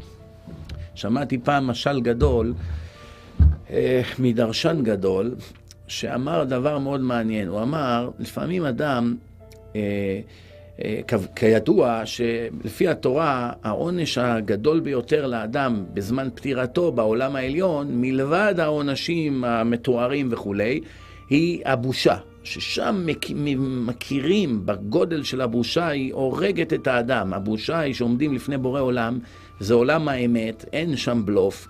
והאדם רואה את כל מעשיו, אז הבושה היא נוראית. שאין לך דבר יותר כואב מבושה. למשל, אם רואים מתאגרף היום בימינו, מתאגרף א' היכה את מתאגרף ב' עד כמעט עד סף מוות. ומתאגרף ב' שכבר עומד, אה, עוד מעט נשמע בבית חולים שהוא נפטר מזעזוע מוח, בכוחותיו האחרונים, אחרי שכבר הפסיד את הקרב, תמיד הוא מנסה להזדקף ולעמוד ולנפנף לקהל. אני עדיין עומד, לא הוכנעתי לגמרי. עדיף לו לסכן את חייו, להזיז את ראשו, אף על פי שמצבו עדין מאוד. אסור לו כרגע לזוז עד שיבואו רופאים ויבדקו את מצבו, אבל לא אכפת לו כרגע מעתידו הפיזי. העיקר למנוע דקה של בושה. העיקר שכולם כבר צועקים הו אחרי שהוא קיבל את הנוקאוט ונפל, איך אני מונע איזה דקה, שתיים של בושה על ידי שהוא קם בכל כוחו ומנפנף לקהל. או איזה לוליין בקרקס שנפל, דבר ראשון שהוא עושה, הוא קם ומנפנף לקהל, כי הבושה היא הרבה יותר כואבת מהעונש הפיזי של הנפילה או של האגרוף שהוא חטף, כן? אז שמעתי משל מדרשן אחד שאמר פעם דבר יפה, הוא אמר, לפעמים אדם בא לעשות עבירה ופתאום עובר לידו איזה גוי, לא מכיר אותו, גוי מהשכונה, עבר, ראה אותו עומד לעשות עבירה והוא הוא, הוא התחרט, הוא חזר בו, אומר, אני אבוא עוד שבוע, כי עכשיו ישמעו עוד מעט שעשיתי מה שעשיתי, הגוי הזה ידע שזה אני, אף שאני לא אצטרך לעמוד בפניו, לא נעים. לפעמים אדם בא לעשות עבירה, עכשיו, בא לו ילד קטן, ילד בן שנתיים, עומד ככה, מתבונן בו, ילד לא מבין הרבה, כן? אבל עדיין מתבייש לעשות את זה לידו, כן? לפעמים אדם בא לעשות עבירה, וכלב, כלב, בעל חיים, עומד ונועץ בו זוג עיניים, והאדם הזה רואה שהכלב מתבונן בו, והוא לא מצליח לעשות את העבירה בגלל שיש זוג עיניים שנעוצות בו. ואז אה, הוא חוזר בו, אומר, תראה, אני לא יכול לעשות את זה, מנסה להבריח את הכלב, הכלב אה, מתעצבן, הוא לא רוצה ללכת, כן, אז האדם אומר, טוב, אני אחזור בפעם אחרת. ואז האדם יום אחד נפטר ומגיע לבית דין של מעלה, ומראים לו שם בבית דין של מעלה, טיפש שכמותך. אני יותר גרוע בעיניך מכלב, יאמר לו בורא עולם. מול הכלב התביישת לעשות עבירה. ואני 70-80 שנה, לא, לא, נעלמו ממך מה שכתוב, עין רואה ואוזן שומעת וכל מעשיך בספר נכתבים? איך לא חשבת שאני מקליט אותך ורואה אותך ושומע כל ציוץ שלך ואתה עתיד ליתן לי דין וחשבון על כל מעשיך? בשביל מה נתתי תורה לאנושות? בשביל מה עשיתי מאורע כזה בומבסטי בהר סיני לעיני מיליונים וירדתי על הר סיני ודיברתי עם משה הנציג שלי? בשביל מה היה כל ההופעה הזאת? כדי שאנשים ישכחו ממנה ויחזרו לסורם? הרי היית צריך ללמוד דבר מתוך דבר. נתתי לך שכל, אינטליגנציה, בינה, חוכמה, בינה ודעת. למה לא השתמשת בחוכמה, בינה ודעת שנתתי לך כדי להבין מה קורה? לאן אתה פניך מועדות? למה לא חשבת שנבראת מטיפה סרוחה וסופך להיאכל על ידי תולעים? למה לא חשבת שכל הגאווה, הכל זה שקר והכל זמני ומילא לא יצא לך מזה כלום? כי סופם של הגאוותנים להיקבר בסוף. משפיל גאים עדי הארץ, מגביה שפלים עד מרום, זה פסוקים מפורשים בתנ"ך. מדוע לא הפעלת את, את שכלך? ואז האדם עומד חסר אונים, ומבין שאיחר את הרכבת. זה מה שנהוג להגיד באנגלית, Don't miss the train. אנחנו עוברים הלאה. הגמרא במסכת שבת עמוד קנ"ב אומרת, כל שאומרים בפני המת, יודע עד שיסתם הגולל. ויש אומרים עד שיתעכל הבשר. הגמרא אומרת, בזמן שמכסים את הגופה בקבר, עדיין הוא יודע מה הולך פה בעולם. עד שהתולעים סיימו את תפקידם ולא השאירו טיפת בשר אחת בגוף, ברגע שנאכל כל הגוף, אז האדם מאבד את הקשר, הנשמה שלו שהיא כבר בעולם העליון, כבר אין לה יותר קשר בכלל לעולם הזה. אמר רב לרב שמואל בר שילת, זה דו-שיח שהיה בין שני תלמידים, שני רבנים בזמן התלמוד, לפני אלפיים שנה בערך, זה מופיע במסכת שבת עמוד קנ"ג. רב אומר לרב שמואל בר שילת, אומר לו ככה, בשעת מיתתי, בשעת המוות שלי, התאמץ בהספד עליי. עשה לי הספד מכובד, תספיד אותי, תגיד עליי דברים, כל הדברים הטובים שעשיתי בחיי. כל המצוות, חסדים, לימוד התורה, יושר וכולי. כי אני אעמוד שם ואשמע את דבריך. אני אעמוד שם, למרות שאני מת כבר, הגופה כבר עומדת להיות מורדת לקבר, אל תדאג, אנחנו יודעים הרי מהתורה שקיבלנו שאני אעמוד ואשמע את הכל. זאת אומרת, אנחנו רואים שהיה ברור ופשוט לחכמי התלמוד כל הרבנים, מתקופת התורה ועד תקופת התלמוד חלפו בערך כ-1300 שנה וזה עבר מדור לדור וכולם ידעו, כל ילד ידע. יש גוף, יש נשמה, הגוף הוא זמני, הנשמה היא נצחית.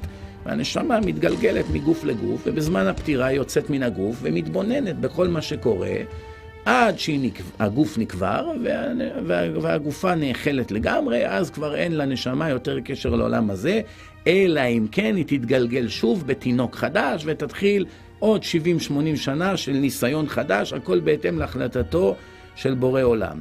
אה, הרמב"ם, אה, שחי לפני כמעט 900 שנה, אה, הוא אחד מגדולי הפוסקים בהיסטוריה היהודית, הוא מסביר מה זה לא יימצא בך שואל אוב ועידוני ודורש של המתים. אוב ועידוני הם סוגים של העלאת מתים על ידי תחבולות שונות. דורש של המתים הוא מרעיב את עצמו והולך ולן בבית הקברות כדי שתשרה עליו רוח טומאה. זה מופיע בגמרא במסכת סנהדרין עמוד ס"ה. כן? וזה לשון הרמב"ם. עבודה זרה, הלכות עבודה זרה, פרק י"א, הלכה י"ג. כללו של דבר, כל העושה דבר כדי שיבוא המת ויודיעו, כל פעולה שאדם עושה ומתקשר עם המת, לוקה. זאת אומרת, הוא כבר חייב מן התורה. שנאמר לו, יימצא בך שואל אוב ועידוני, כן, ודורש של המתים. חלילה איפה אם כן, לישראל קדושים לנסות לעשות דברים כאלו. כל הדיווחים, כפי שאמרתי, אנחנו לומדים מניסיונות של גויים שאינם יהודים, שהם עשו, ואנחנו לומדים שכל הממצאים שלהם מאמתים בדיוק את מה שכתוב בתורה. בתנ"ך מופיע מעשה ששאול המלך עמד בפני מלחמה עם עמלק ודאג מאוד והעלה את שמואל הנביא שכבר נפטר מן העולם באוב. הלך לאישה שקישרה אותו, מה שאמרנו מדיום, קישרה אותו עם שמואל הנביא, ושמואל הנביא כעס מאוד שהוא החזיר אותו לעולם הזה, הוא דאג מאוד שפתחו לו את יום הדין מחדש, והתנ"ך מתאר ששמואל אמר לו, למה הרגזתני להעלותני? למה הרגזת אותי? הרגזת את הנשמה שלי להחזיר אותי לעולם הזה. ואז שאול אמר לו, אני דואג, לא יודע מה יהיה מחר במלחמה, ושמואל אמר לו, למחר אתה ובניך איתי פה. מה רואים? שהנפטרים יודעים את העתידות, כן? אפשר להביא אותם מהעולם שהם נמצאים בו, ואנחנו רואים באמת ששאול העלה את שמואל, אף על פי שזה נגד חוקי התורה. כיוון שהיה מצב של פיקוח נפש, מלחמה גדולה עומדת לפרוץ, ואמר לו, מחר אתה ובניך איתי פה, ואכן למחרת שאול ובניו נהרגו במלחמה, והבשורה היותר טובה היא שהלוואי על כולנו להגיע בגן עדן למדרגתו של שמואל הנביא, שחז"ל אומרים עליו שהיה שקול כמשה ואהרון ביחד. אנחנו מתקדמים הלאה, ונתחיל להסביר עכשיו לפי המדע אה, מה זה מידיום. אה, כפי שאמרתי, אנשים שיכולים להרפות הרפאיה מלאה מבחינה רוחנית, ועל ידיהם אפשר לקרוא לנפטרים. שניים מפורסמות ביותר שהיו בהיסטוריה, אחת מהן קראו לה גברת ליניאורה פייפר, והשנייה איילין גארט. שניהם היו מתקשרות עם נפטרים למיניהם, שכל מיני קרובי משפחה ביקשו לדבר איתם, ובמידיומים שנערכו איתם, הם ממש נתנו פרטי פרטים סודיים בין הנפטר לבין זה שביקש לתקשר איתו. שבעה צוותי חקירה בדקו אותם. במשך 40 שנה בדקו את ליניאורה פייפר מבוסטון. אה, היא חיה בתקופת 1885, לפני 120 שנה בערך. כן? היא הייתה שפה ניסיונות של ויליאם ג'יימס, הפסיכולוג, הפילוסוף הנודע מאוניברסיטת הרווארד. ובדקו אותה, אני מקצר, בדקו אותה בכל מיני ועדות חקירה, סגרו אותה, מנעו ממנה אינפורמציה, ותמיד היא עמדה תמיד בניסיונות שיש לה תקשור אמיתי עם הנפטרים, והדברים שהיא אמרה, אף אדם לא יכול היה לדעת מלבד הנפטר עצמו. אה, כמובן, אה, אנחנו רואים שאפילו בימינו יש דרך לתקשר עם הנפטרים דרך מידיום, אלא כפי שאמרתי, יהודי אסור לו. יש דבר נוסף שנקרא כתיבה אוטומטית. יש מידיומים שמדברים בשם הנפטר, הם עוצמים את העיניים במרפאיה שכביכול נראית כמו התעלפות, והם נותנים אינפורמציה מאותו נפטר, ויש כאלה שמחזיקים עט ביד בצורה רפויה מאוד, ואז העט מתחילה לזוז על הנייר ולכתוב דברים מסוימים שהנפטר אומר. זאת אומרת, הרוח של הנפטר מתעברת באותו אחד, שהוא המדיום, ונותנת אינפורמציה, זה נקרא כתיבה אוטומטית. למשל, יש אה, דוגמה, המדיום האמריקנית, קוראים לה רוזמרי בראון. אין לה שום אה, רקע פורמלי במוסיקה. בזמן מדיומים, סיאנסים שהיא תקשרה, כתבה מוסיקה מסובכת של שופן, ברמס, באך, בטהובן, גדולי המלחינים הקלאסיים, כתבו את התווים שלהם דרך היד שלה. כיצד עשתה זאת? היא התקשרה עם הרוחות של אותם נפטרים, המלחינים הגדולים, הכתיבו לה את היצירות הללו כדי להוכיח שהרוח שלהם עדיין קיימת. אמה קונטי, איטלקיה בעלת כוחות על-חושיים, מקבלת שירים מהרוח של המשוררת אמילי דינקנסון. היא זכתה ב-46 פרסים על השירים שכתבה, למרות שמעולם לא רק שלא למדה מוסיקה, אפילו לא למדה בבית ספר תיכון. סיימה שמונה שנות לימוד ולא המשיכה הלאה, אין לה שום ידע פורמלי. גברת איילין גארט הייתה מתעוררת מטראנס ולא הייתה מאמינה להקלטות למה שאמרה. אבל הדברים אכן מוקלטים. בחמש באוקטובר 1930 התרוממה ספינת אוויר ענקית של חיל האוויר הבריטי. זמן קצר לאחר ההמראה התרסקה הספינה הזאת. מרבית הנוסעים נספו. אותו ערב הייתה אמורה איילין גארט להתקשר עם רוחו של סר ארתור קונן דויל, מחבר הספר המפורסם שרלק הולמס. אולם במקומו בקע מפיה כל אדם שהציג עצמו כטייס בשם ארווין, והחל לספר על סוף דרכה של ספינת האוויר. המנוע היה כבד מדי, צינור השמן התבקע, זווית הטיסה הייתה נמוכה מדי, הכיסוי ספג מים והכביד על הספינה. התא שהוסיפו באמצע הכביד על התרוממותה באוויר. והפרטים שהיא מסרה היו בגדר הפתעה אדירה. אף אחד לא חלם לכיוון הזה, כן? תיאורים טכניים מפורטים בלשון מקצועית שאף אחד מלבד קברניטי הספינה לא יכלו לדעת עליהם. ואחר כך פתחו מחדש את ועדת החקירה, והתברר שבאמת כל מה שחשבו על התרסקות אותה ספינת אוויר, הכל היה טעות, ובאמת מה שהטייס שנפטר כבר, הרוח שלו באה ומסרה, אנחנו רואים שהנפטרים אינם חדלים מלהתקיים. אני רוצה עכשיו לעבור לגלגולי נשמות. כפי שאמרתי בתחילת דבריי, אה, יש תופעה שנקראת גלגולי נשמות, שהנשמה עוברת מגוף לגוף בגלגולים שונים. ויש בימינו אנו מספר אנשים, אחוז קטן מאוד אמנם, על כל כמה מיליוני אנשים מופיע אדם מסוים, יהודי או גוי, שזוכר בהקית, ללא היפנוזה, ללא היפנות, זוכר את חייו הקודמים בפרטי פרטים, זוכר את שמו, איך היה נראה, איפה הוא חי, מי הייתה אשתו. הרבה פעמים לוקחים את אותם אנשים לאותם מקום ששם הם חיו ונפטרו, ומאמתים אותם עם אותה אישה, שהיא האישה שלהם מחיים קודמים, כך שיוצאת תופעה מאוד מעניינת, מעניינת שילד קטן בן 4, 5, 6, 7, כן? לוקחים אותו לאישה בת 40-50, והוא בעצם בא ומזדהה כבעלה הקודם, אף על פי שהוא ילד קטן. ואז כמובן זה נראה כבדיחה, והאישה הזו מסרבת להאמין. והוא מתחיל להגיד לה, את זוכרת שבישלת לי כך, ולקחנו והלכנו לרופא, ואמרתי לך ככה, ונתתי לך כסף שם, וכל מיני דברים שרק בעלה ידע. ואז אנחנו רואים פה תופעה מאוד מעניינת. אדם שנפטר, חזר בגלגול חדש במשפחה אחרת, אבל זוכר את חייו הקודמים. כמובן שזה יוצא מן הכלל. הכלל הוא שאדם לא אמור לזכור את החיים הקודמים שלו.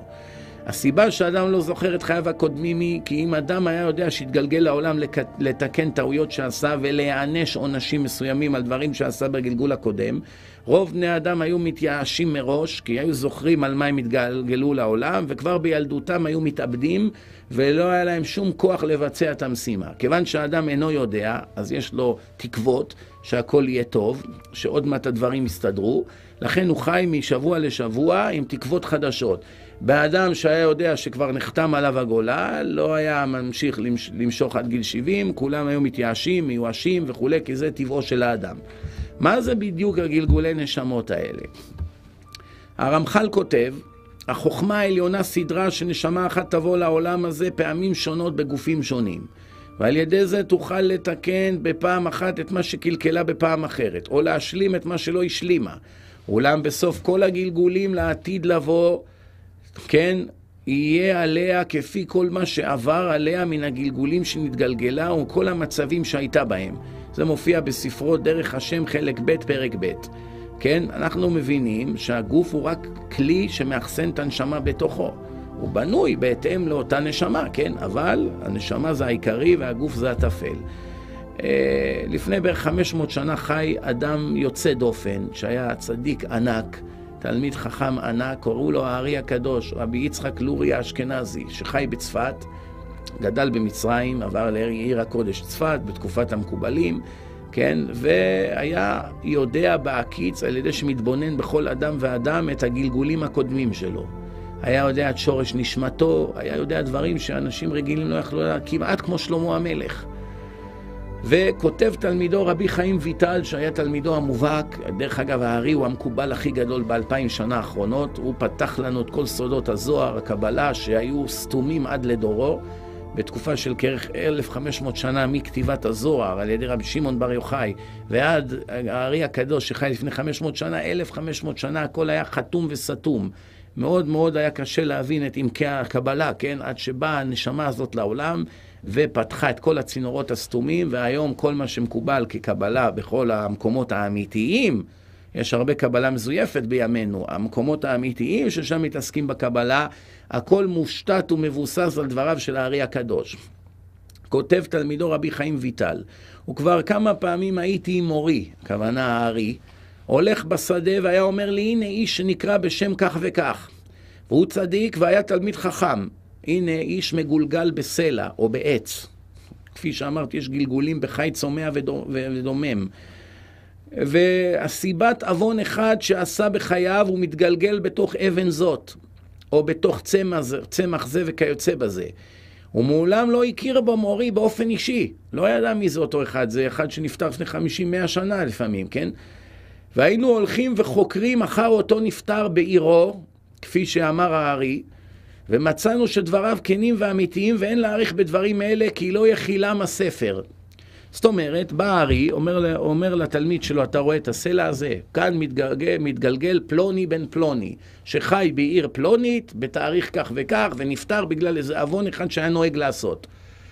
הולכים התלמידים ככה בשקט לאותה עיר ושואלים באמת היה אדם כזה, אומרים לו כן, היה גר כאן, מה היה תפקידו, בדיוק כמו שהארי אמר, והאם הוא היה נוהג לעשות כך וכך, ובסוף מתברר שכל מה שמסר עליו, הכל אומת. זאת אומרת, אנחנו רואים שלא רק שיש אנשים שזוכרים את חייהם הם על הגלגול הקודם, יש אנשים שגם כן יכולים להסתכל על אדם מסוים ולזהות את הגלגול הקודם שלו, ומקובל בימינו אפילו בעולם הזה, בדור הזה, שאנחנו כבר 500 שנה אחרי הארי, שיש כאלה אנשים. כן, מקובל על הסטייפלר שחי עד לפני 20 שנה, שהיה יכול להסתכל לאדם במצח ולדעת עליו עבירות מסוימות שהוא עושה. אנחנו קוראים לזה רוח הקודש, אין הזמן להאריך בזה כרגע. רבי יהודה אריה ממודינה, רב ורופא באיטליה, מרבני ונציה, כן? לא היה מאמין בתחילה בתורת הגלגול, עד, שמה, עד, שמה, עד מעשה שהתרחש בסוף ימיו. שכנתו ילדה בן, בתוך חודש ללידתו חלה הילד בחולאים קשים, ובסוף שישה חודשים ללידתו הגיע קיצו, והיה גוסס, ילד בן שישה חודשים תינוק. ושכנתו קרא להרב הנזכר שיאמר פסוקים ודברי תורה בצאת נפשו של התינוק. וראה הרב את הילד מצטמק ורע וגוסס, וקרא מספר מזמורי תהילים לידו, ולפתע הילד פתח את עיניו, ילד בן שישה חודשים לא לשכוח, ואמר, שמע ישראל, אדוני אלוהינו, אדוני אחד. ויצאה נשמתו באחד, והוא פלא. מהיום הזה והלאה האמין הרב בגלגול, כי עין בעין ראה ילד בן שישה חודשים, והוא מדבר כגדול, אף על פי שלא למד לדבר, הוא תינוק עדיין. כן? ואמר את קריאת שמע כולה בקול רם.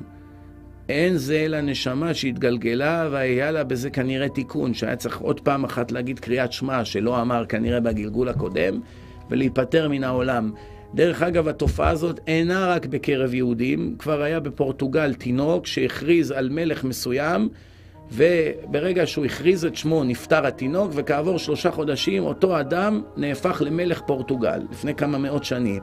יש בספרות ראיות לתינוקות בכל מיני תרבויות שונות, שפתחו את פיהם פתאום והכריזו איזה משהו מסוים. דבר שכמובן מעיד על עניינים של גלגולים, כן? ויש עוד ראיות למכביר. אה, ידוע על שמשון הנביא, שמשון שהיה משבט דן, שהוא גלגול של אה, אה, נדב. נדב, בנו של אהרון הכהן, נפטר, נדב ואביהו נפטרו בצעירותם. אחת הבעיות שהיו עם השניים זה שסירבו להתחתן עם בנות ישראל בטענה שאינם ברמתם. כיוון שכך קרה ונפטרו רווקים, חזר נדב בגלגול של שמשון הנביא, הוא משבט דן, כתוב עליו בדן, שמשון בדן, ב' ד' נ', אם נבלבל את האותיות בסדר, זה יוצא נדב. והוא בעצם חזר ונענש על זה שבגלגול הקודם סירב להתחתן עם בת ישראל, על ידי שפיתתה אותו אישה פלישתית בשם דלילה, וממנה בא החורבן שלו. היא זו שהוציאה ממנו את הסודות, שכוחו בשערותיו, וקרא לחיילים הפלישתים, והם עיוורו את עיניו, והפכו אותו לעבד, עד שבסוף הוא הרג את עצמו עם שלושת אלפים פלישתים, וזה היה סופו. זאת אומרת, רואים שהחיים הבאים הם בעצם המשך ישיר של החיים הקודמים, ויש על זה אלפי ראיות, ואין הזמן להאריך, אין עכשיו כרגע הזמן להאריך בזה. את כמות העדויות הגדולות ביותר בזמננו לגלגול נשמות אסף דקטור איאן סטיבנסון, פסיכיאטר ופרפסיכולוג מאוניברסיטת וירג'יניה. משנות ה-60 ועד ימינו חקר ובדק כ-600 מקרים של גלגולי נשמות ברחבי העולם. הוא פרסם ארבעה ספרים ובהם הוא מסכם את מחקרם. מחקריו בדרך כלל התבססו על ילדים בגיל שנתיים וחצי עד ארבע שנים, כיוון שילדים אלה עדיין זוכרים זיכרונות טריים מחייהם הקודמים, כן? ובתרבויות שונות, בשפות שונות, מי שקורא את ספריו של איאן סטיבנסון מגלה מבול של ראיות שמשאירות שום צל של ספק. שהאדם בעצם הוא גלגול מחיים קודמים, כל בני האדם כלה, כולם כמעט הם נשמות ישנות שכבר היו כאן בעולם ומתגלגלות בגופים חדשים. בואו ניתן מספר דוגמאות מה הכוונה גלגול של אדם שזוכר את החיים הקודמים שלו. המקרה של אינדיקה גונרטה, ילד מסרי לנקה שנולד ב-1962, אופייני לזיכר, לזיכרון של חיים קודמים. סטיבנסון החל לבדוק את המקרה ב-1968 ופרסם את מסקנותיו בעיתון ASPR ב-1974. זאת אומרת, שש שנים לאחר לידתו של הילד הזה בסרי לנקה, אחרי שנים של מחקר, איין סטיבנסון פרסם עליו מסקנות. אינדיקה החל לדבר בגיל שנתיים. כשנה לאחר מכן תיאר חיים קודמים, תיאר את עצמו, ילד בן שלוש, שהוא בעצם אדם מבוגר, קוראים לו, ל, ל, ל, הוא חי בסרי לנקה, איש עשיר, יש לו מכונית מרצדס, בית נהדר, פילים בבית, יש לו משרת, פרמזדה, שהוא גם הנהג שלו, כן? והוא מתאר את עצמו בתור חיים קודמים, כן? אה, אביו של אינדיקה גונרטה בדק את סיפורי בנו, ואכן גילה איש עשיר שחי במטרה, עיר, והתאים לתיאורי בנו. דוקטור סטיבנסון החליט להמשיך בחקירה, הוא ביקר בהודו ובסרי לנקה, והצליח לאמת חלק גדול מהדברים שאמר אינדיקה, ונרשמו בקפידה על ידי אביו.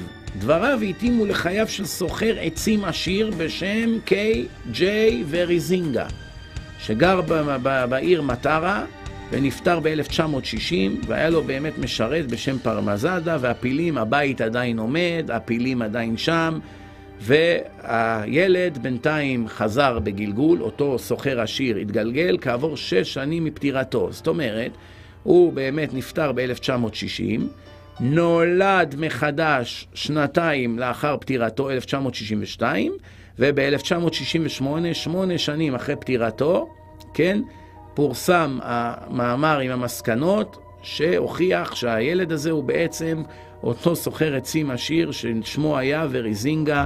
הנה דוגמה אופיינית למקרה של גלגול נשמות. אה, דוגמה נוספת, שנטי נולדה בעיר דלהי בהודו. ב-1926, בגיל שלוש, החלה מספרת להוריה על המתרחש בסיטי מוטרה. היא טענה כי בעלה קוראים לו קיידרנט, ילדה בת שלוש מדברת על בעלה, כן? והיא עצמה מתה ביום העשירי להולדת בנה.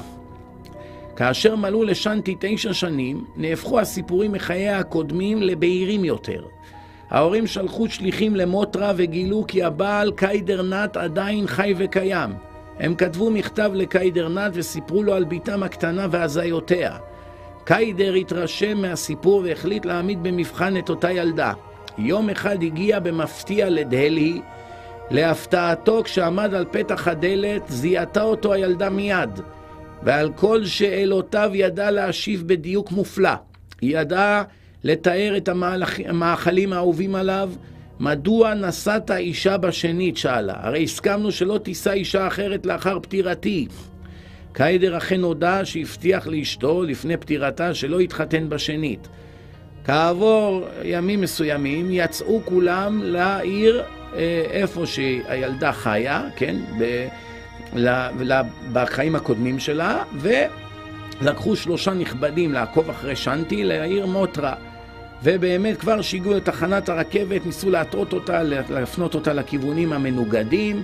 מיד היא זיהתה את גיסה בשם גיטה, עומד בין הקהל, שכרו כרכרה, לא לשכוח, זה 1930, והיא הדריכה את העגלון איך להגיע לבית שהיא גרה שם בחיים הקודמים, זיהתה את הבית למרות שהוא עבר שיפוץ, ידעה כל חדר וחדר מה יש בתוכו לפני שפתחו את הדלת, ואז הגיעה לפינה בבית וביקשה לחפור בור.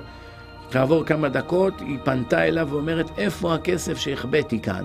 וקיידר הנבוך באמת הודה שאחרי פטירתה הוא חפר שם בור והוציא משם את הכספים שהחביאה שם, והנה לנו ראייה שאין עליה שום ערעור, שאישה שבעצם היום ילדה, היא זוכרת את חייה הקודמים כאישה, היא זוכרת את כל הפרטים, כן, גם בארץ התופעה הזאת מאוד מאוד רווחת בקרב הילדים הדרוזים, כמעט בכל כיתה יש לפחות ילד דרוזי אחד שזוכר בהקיץ, ללא היפנות, את חייו הקודמים. דוגמה זה בדר, חייל דרוזי מעוספיא, עמד לזרוק רימון באימון של גולני, הייתה לו תחושה מוזרה, הוא נזכר שפעם הוא כבר מת מפיצוץ של רימון יד. פחד תקף אותו, הוא לא הצליח לזרוק את הרימון. עד גיל עשר זכרתי את המוות שלי, מספר בדר. אחר כך שכחתי והזיכרון שב אליי בצבא. לא נהרגתי כחייל, המוות שלי היה באזרחות על הר הכרמל. היה שם שטח אימונים של צה"ל, הייתי רואה בן, 17, בן 18, לפני הגיוס מצאתי רימון, שחררתי את הנצרה והרימון התפוצץ ונהרגתי. זה קרה ב-14 באוגוסט 1958. באותו יום נולד בכפר השכן, כבר באותו יום, כן? באותו יום נולד בכפר השכן בעוספיא תינוק ושמו בדר. בדר כיום בן 33 בחייו החדשים. עובד במפעל במפ... במפרץ חיפה, עושה מילואים בגולני. הייתי ילד קטן, מספר בדר. רק התחלתי לדבר, פתאום התחלתי להרגיש שזה לא הבית שלי, שיש לי אימא אחרת, אני רציתי ללכת אליה. אחר כך בגיל חמש סיפרתי להוריי שהייתי רואה, סיפרתי להם איך רבתי מנהל בית הספר, זרקתי עליו אבן ויותר לא חזרתי ללימודים, והיה לי חליל צהוב וכלב, איך התפוצצתי עם הרימון בשדה, ביקשתי שיקחו אותי למשפחתי הקודמת. לקחו את בדר אל משפחת הרועה שנהרג, מצאתי את הבית, תיארתי את כל הבית, ידעתי את שמותיהם של כל הקרובים, כן? אמרתי להם איפה החבאתי את החליל, והם הלכו והביאו משם את החליל במחסן ליד הגג. באדר ממשיך לבקר את משפחתו מהגלגול הקודם וחי עם זה טוב מאוד. יש לו שני, שתי משפחות, אחת נוכחית בתור ילד, ואחד בתור באדר בחיים הקודמים שלו כשהיה אדם מבוגר. כן, דוקטור ג'אבר אבו רוקון, חוקר גלגולי נשמות, אומר, כשהייתי מורה, הייתי שואל את הילדים בכיתה אם יש מישהו שזוכר משהו מהגלגול הקודם שלו, ותמיד היו לפחות אחד-שניים בכל כיתה מצביעים ומתארים את החיים הקודמים שלהם. ויvian סילבנו נולדה בסן פאולו 1963. דיברה פורטוגזית כמו הברזילאים, אך מהרה התחילה לשלב קטעים באיטלקית. בטרם מלאו לה שנתיים, קראה לאחותה בשם מיה סורולה, והייתה לה בובה שקראה לה במבולה, ואמרה את זה במבטא איטלקי מובהק. ג'יי לין פלייפר, עיתונאי אנגלי, בדק את המקרה ופרסם ספר בשם Unknown Power, מתאר על ידיעת האיטלקית שלה, ואחר כך שהיא זוכרת את חייה הקודמים. כל פעם שמטוס היה עובר מעל ביתה, היא נכנסת מתחת לשולחן ומתחבאת, ואז היא מתארת את חייה הקודמים בעיר רומא באיטליה, ומתארת את חברותיה, ובסופו של דבר, מתוך המחקר התברר שהסיבה שיש לה פחד ממטוסים, שבחיים הקודמים שלה היא חיה במלחמת העולם השנייה ומטוסים הפציצו באזור ביתה והיו נופלים פצצות ואנשים התחבאו מתחת למיטות ומתחת לשולחנות ועד היום כבר בחיים הקודמים שלה יש לה עדיין טראומה מרעש של מטוסים. אה, אנחנו עכשיו עוברים למה שנקרא אה, אה, רגרסיה על ידי היפנות. כל אדם יכול ללכת לפרפסיכולוג שיאפנט אותו, ייכנס לתת מודע שלו ויוציא אינפורמציה על חייו הנוכחים וחייו הקודמים. ב-1973 עבד רופא מפורסם מפילדלפיה עם אשתו בהיפנוזיה, בהיפנוזה ורגרסיה. לאחר שהפנט אותה התחילה לדבר בקול של גבר, בשפה שזוהתה על ידי מומחים כשוודית עתיקה. המומחה דיבר איתה בשפה זו והיא ענתה לו בצורה נכונה ומדויקת. היא תיארה את עצמה כעיקר פשוט בשוודיה מלפני 300 שנה בכפר בשם אנג'יין. היא תיארה את הכפר, במרכז הכפר שוק מסחרי, והתחילה לתאר כלים של חקלאים עתיקים מלפני 300 שנה. כן, אולם כלים מודרניים היא לא הכירה בכלל. שתיארו לה את כלי החקלאות בימינו, היא לא הכירה אף אחד מהם. כן? זה, אנחנו רואים אה, זה, דברים מדהימים שהוא פרסם בספרו, כן? הספר נקרא 20 Cases Suggestive of Reincarnation by Ian Stevenson, University of Virginia, אמור, פרס 1980, בהוצאה של שנת 1980. הספר של איאן סטיבנסון, 20 מקרים של גלגולי נשמות מפורסמים שנבדקו בצורה מדעית, ודוקטור סטיבנסון פרסם אותם. אה, מורי ברנסטיין, מהפנט מקולורדו, פרסם ב-1956 את ספרו הסנציוני בעקבות בריידי מרפי. הספר תיאר אישה בשם רות סימנס, שזוכרת את חייה הקודמים של, מר, של בריידי מרפי באירלנד, במאה ה-19. כן, זה קרה בכמה נישואי רגרסיה, ונישואים אלה זכרה אישה שמות של קרובים ודיברה במבטא אירי מובהק. מהרגע שגילתה העיתונות את המקרה הזה, עקבו אחריה, חקרו, ותוצאת המחקרים והחיפושים האלה פורסמו בעיתון Life ו-American Magazine, סדרת דיווחים על החיפוש אחר בריידי מרפי, פרטים שאומתו והופיעו ברשת עיתוני הרסט. זאת אומרת, מחקרים רציניים ביותר הוכיחו שהיא זוכרת את החיים הקודמים שלה. פרופסור שוויצרי בשם פול רוי מאוניברסיטת ג'נבה הפנית ילדה שוויצרית בת חמש שסבלה מבעיות תפקוד. תוך כדי ההיפנות ברפואה, שמקובל ברפואה מודרנית, החלה אותה נערה לספר על העברה בגלגולה הקודם, אני נמצאת בארמון, שיחים יפים, פרחים, בת כמה את? 23. היכן את? קנרה בהודו. את נשואה? אני אחת מנשותיו של הנסיך סיברוקה, הנסיך של הממלכת קנרה, כן, של ממלכת קנרה. כל אותה עת דיברה ילדה בשוויצרי, השוויצרית בשפה הודית, שבחיים האלה היא לא מכירה בכלל, כן? שלא שמעה מימיה. הייתה זו שפה סינסקריטית עתיקה, שאפילו בהודו הפסיקו להשתמש בה. הפרופסור המופתע רשם והקליט את המקרה ושלח אותה למומחים בינלאומיים לשפה הודו העתיקה ולהיסטוריה ההודית, ובאוניברסיטת קלקוטה שבהודו המומחים נדהמו משפע הממצאים והעובדות ואישרו את קיומה של הממלכה הזאת והנסיך הזה לפני 500 שנה. והנה עכשיו היא בגלגול חדש, היא זוכרת את כל חייה הקודמים מלפני 500 שנה. יש לנו עוד המון המון דוגמאות, זמננו קצר, והמסקנה של כל זה שאנחנו רואים שאנשים מסוימים אה, זוכרים את חייהם הקודמים, ומי שלא זוכר את חייו הקודמים על ידי היפנוזה אפשר לגלגל אותו לגלגול הקודם שלו, ולקבל מהם תופעות, והאנשים האלו הם מוכיחים לנו מעל כל צל של ספק שהנשמה היא מתגלגלת ועוברת מגוף לגוף. אני רוצה עכשיו להראות לנו לפני סיום סרט אה, על ילד אה, אמריקאי שנולד לזוג הורים אמריקאים, והוא זוכר את גלגולו הקודם, את חייו הקודמים. בגיל שנתיים התחיל לדבר עם אביו, ובסרט מתברר שהילד הזה בעצם היה אבא של אבא שלו. זאת אומרת, אה, תארו לכם, אברהם, יצחק ויעקב, סבא, אבא ובן, אחר כך אברהם נפטר, נשאר יצחק ויעקב, והיעקב שנולד בעצם זה אברהם. זאת אומרת, האבא של יצחק חזר כבן שלו יעקב. ומה שהבן עושה לאביו, חוזר האבא כבן, מידה כנגד מידה, לשלם לבנו כגבול, כגמולו לטוב ולרע. הדברים האלה מצויים כבר בתורת הקבלה, שגלגולים הרבה פעמים האבא או האימא חוזרים כנכדים, אבל כאן יש לנו ראייה מוחשית של תינוק לא יהודי, שזוכר את חייו הקודמים, סרט מדהים, הנה הוא לפניכם. There are thousands of stories like this, and Dr. Jim Tucker has gathered many of them. We're investigating cases of very young children who spontaneously begin talking about previous lives. Uh, they usually begin between the ages of two and three and, and continue until the age of five or six. Uh, we're looking at these cases to learn as much as possible about this phenomenon. Jim Tucker is preparing a research trip to meet one of his subjects, a child claiming to remember a past life.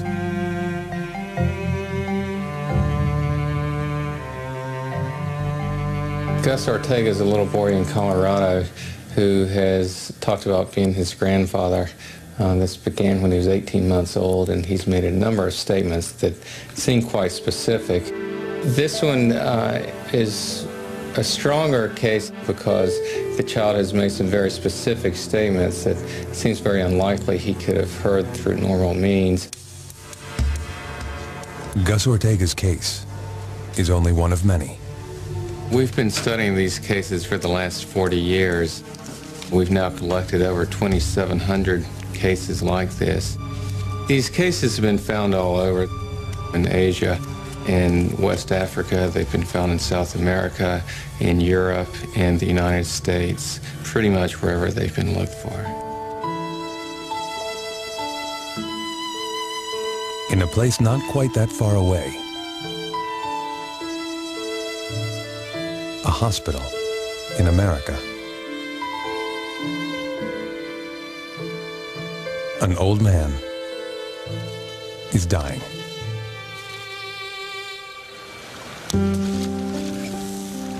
And a young boy believes he is this man reborn. Gus Ortega is a normal six-year-old. Like most boys, he cherishes his time with his dad. But this relationship is different. Gus remembers that he played with his dad in a previous life.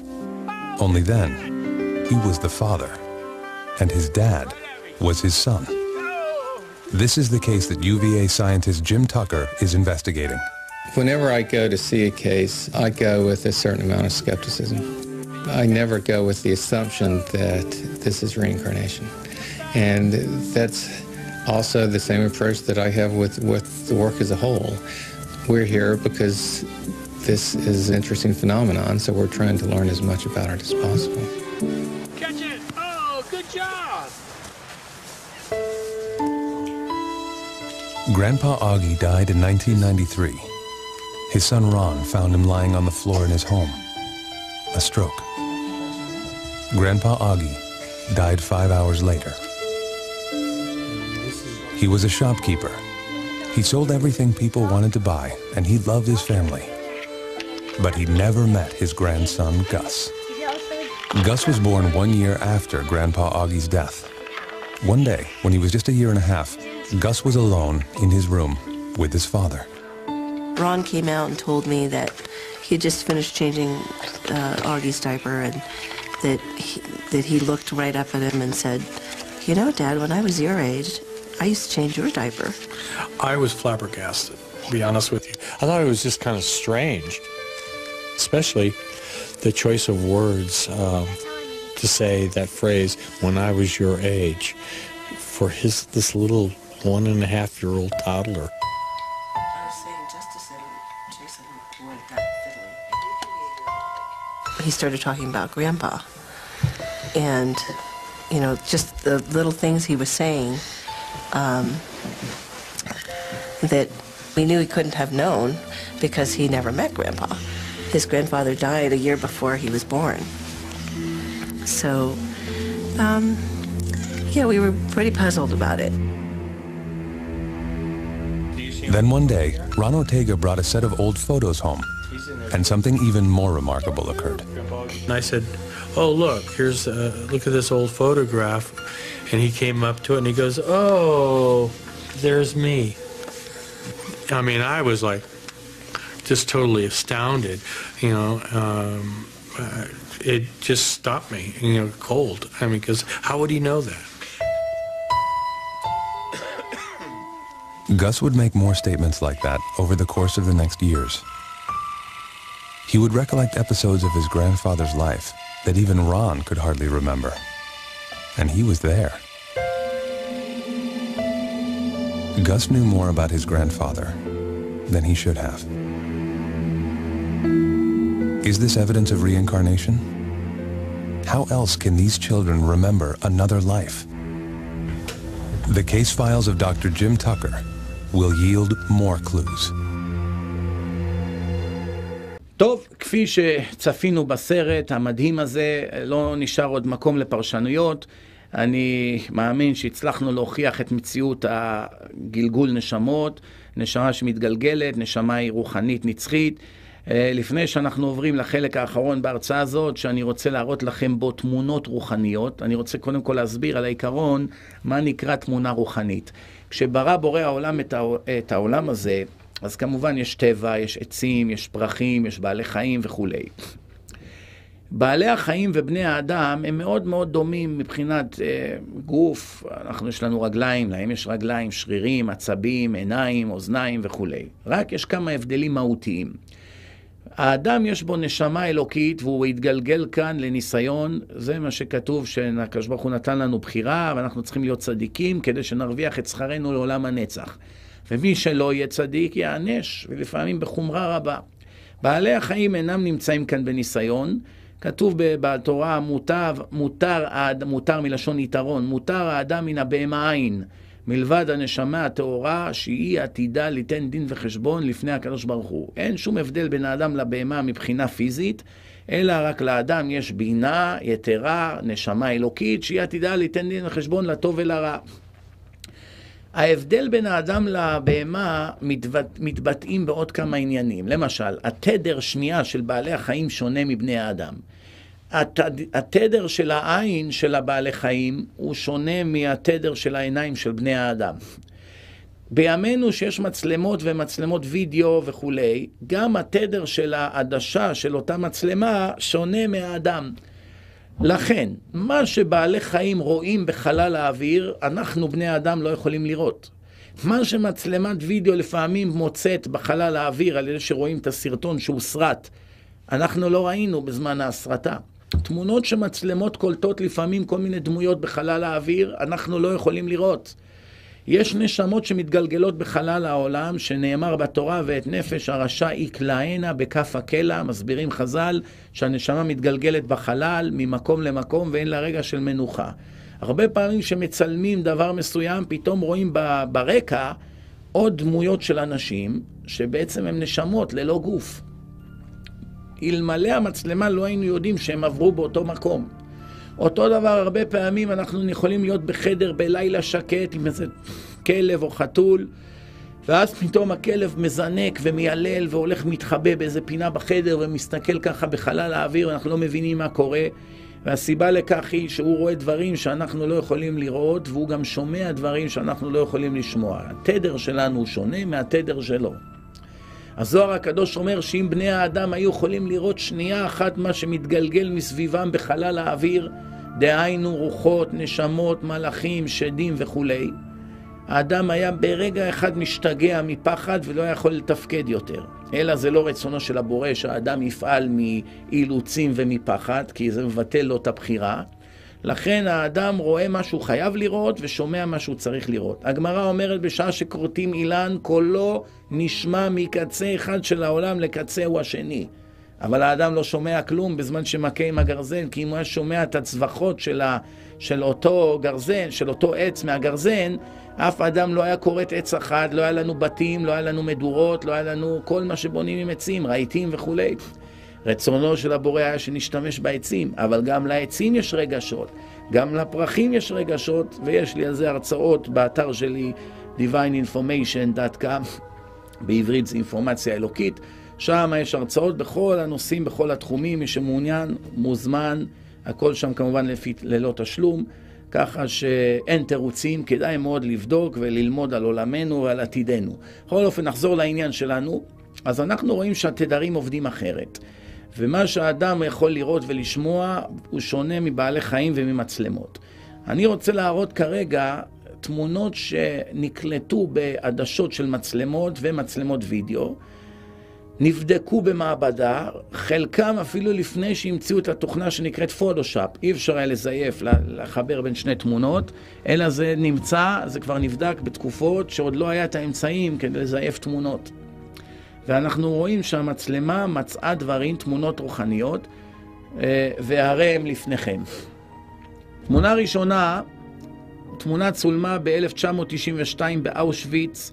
אדם צילם שם את השירותים, שבינתיים זה הפך כבר למוזיאון, כן? ובזמן שפיתחו את התמונות, פתאום רואים צללית של ילד, ילד צעיר, מגולגלת שם, ודבר שהוא לא רע בזמן שצילם את התמונה.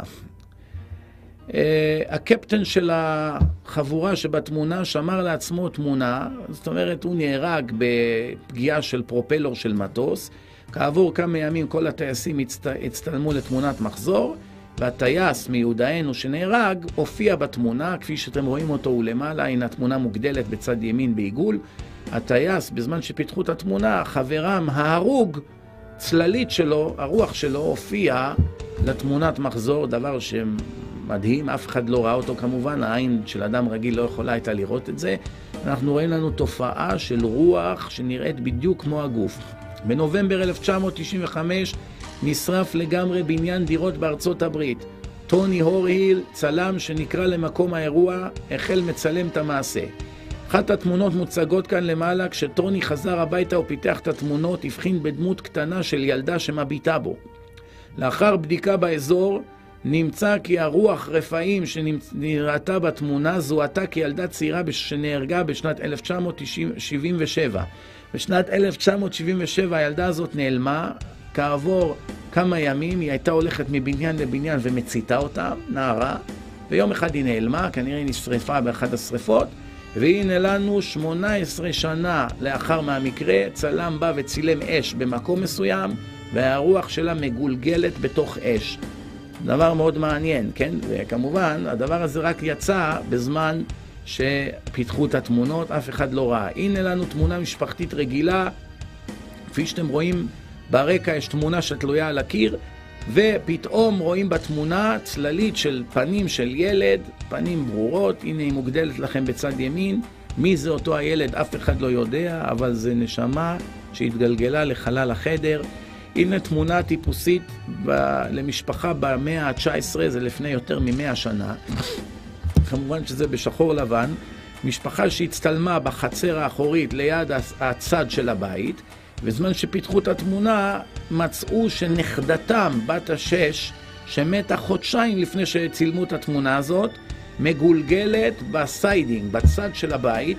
כפי שאתם רואים, התמונה מוגדלת בצד ימין. דרך אגב, מי ששם לב, יש שם עוד שתי פרצופים. שלוש פרצופים מגולגלים בקטע של חצי מטר על הצד של הבית. אה, כדאי גם לשים לב איך היו מתלבשים הגויים לפני מאה שנה. הכל בצניעות, כל הנשים מכוסות, כמו שהתורה ציוותה לאישה להתלבש, גויים היו מתלבשים, עד לפני מאה שנה היה קשה מאוד לראות פריצות. הכוונה גוף, גופות חשופים ברחובות. אנשים היה להם יותר כבוד עצמי, כיבדו את עצמם, כיבדו את גופם, בין ביהודים, בין, בגוף, בין גויים. אנחנו חמש, שש, שבע דורות לאחר מכן, חורבן רוחני נורא ברחובותינו, כדאי לשים על זה, לתת על זה תשומת ליבנו. אה, דוגמה נוספת, זוהי תמונה של טרייסי שנולדה בתאריך ה-13 ליוני 1975, או ליתר דיוק מה שהגויים קוראים יום שישי ה-13. בילדותה חלתה טרייסי בדלקת ריאות חמורה ונלקחה לבית החולים. טיפול מהיר הציל את חייה. התמונה הזאת צולמה ב-1979, כן? ארבע שנים לאחר לידתה, כן? תשעה חודשים לאחר המקרה ויומיים לאחר המקרה שבו טרייסי כמעט שוב איבדה את חייה. בזמן שצילמו את אותה טרייסי רואים מאחוריה כל מיני דמויות שלא היו בחדר בזמן שצילמו, כן? אז באמת זה דבר מאוד מעניין, אף אחד לא הצליח להבין מי זה, אבל המצלמה זיהתה דברים מסוימים. הנה תמונה ראשונה שצולמה וזיהתה נשמות בחלל האוויר במצלמה דיגיטלית. התמונה הזאת נלקחה בחמישי במאי 2001, והמצלמה הזאת עם הלנז, עם העדשה שלה, זיהתה מאחורי הילדה החמודה הזאת, מאחוריה יש נערה, חצי מהפרצוף שלה אה, נתפס במצלמה, אף אחד לא יודע מי היא, אבל הנה לנו דמות שהיא אינה גשמית, אלא דמות רוחנית שנמצאת בחלל החדר. הבחורה שלפנינו, בזמן שהצטלמה, לא חלמה שיש איזה רוח של גבר בדירה שלה, שעומד ומביט בה. הנה אנחנו רואים, המצלמה זיהתה ממש צללית של אדם שקצת גבוה ממנה, עומד ומביט בה. כמובן שזה רוח. כן, אה, דוגמה נוספת, אה, הנה תמונות שצילמו בבתי קברות. אנדרסון cemetery, זה בחוץ לארץ, כן? כל מיני דברים שבחלל האוויר זוהה, כן? ודוגמה נוספת, תמונות שצילמו בבתים. כל מיני גויים למיניהם, ואנחנו רואים בחלל האוויר כל מיני דברים שאין לנו הסבר בדיוק מה הם. הנה תמונה נוספת בבית קברות שרואה לנו מעגלים בחלל האוויר, שאדם רגיל לא ראה את זה, אבל המצלמה זיהתה את זה. הנה לנו שוב כמה שצילמו, ויש כל מיני פסים רוחניים באוויר. הנה תמונות של בעלי חיים, גם כן, החתול, כפי שאתם רואים, כן מזהה שיש משהו באוויר, אבל הצלם לא ראה את זה. הילדה שהלכה לגן הרפתקאות, בזמן שהשתעשעה לה, היה שם צללית של ילד אחר, דמות של ילד אחר, כמובן שהיא לא ראתה. הנה לנו קטע מהסרט המפורסם, שלושה גברים ותינוקת בכיכובו של השחקן טד דנסון. בזמן שצילמו יום צילומים בדירה ששכרו מאיש אחד, פתאום הבמאי ראה בזמן שהלכו לערוך את הסרט, שיש בסרט ילד שלא היה אמור להיות שם. מיד הלכו ובדקו, ואף אחד לא זיהה את הילד, אף אחד לא ראה ילד עומד שם בחדר הסמוך. הלכו ושאלו את בעל הבית מי זה הדמות הזאת, והבעל הבית, שראה את הפרצוף של אותו ילד, התחיל לבכות בבכי קורע לב ואמר, הילד הזה זה בני שהרג את עצמו עם האקדח שלי. מצא את האקדח שלי מוחבא בבית והרג את עצמו, התאבד. ואני לא האמנתי שהרוח שלו מגולגלת בבית. בזמן יום צילומים שלם עם השחקן טד דנסון והשחקניות שאתם רואים בתמונה, צילמו יום שלם, אף אחד לא יכול היה לראות בעיניים אנושיות את הרוח של אותו ילד. אבל בזמן שלקחו ובדקו את הצילומים במצלמת וידאו, המצלמה זיהתה רוח של ילד שהתאבד ומגולגל באותו בית של אביו. דבר מדהים, זה מפורסם בכל רשתות האינטרנט, אפשר גם שם לבדוק.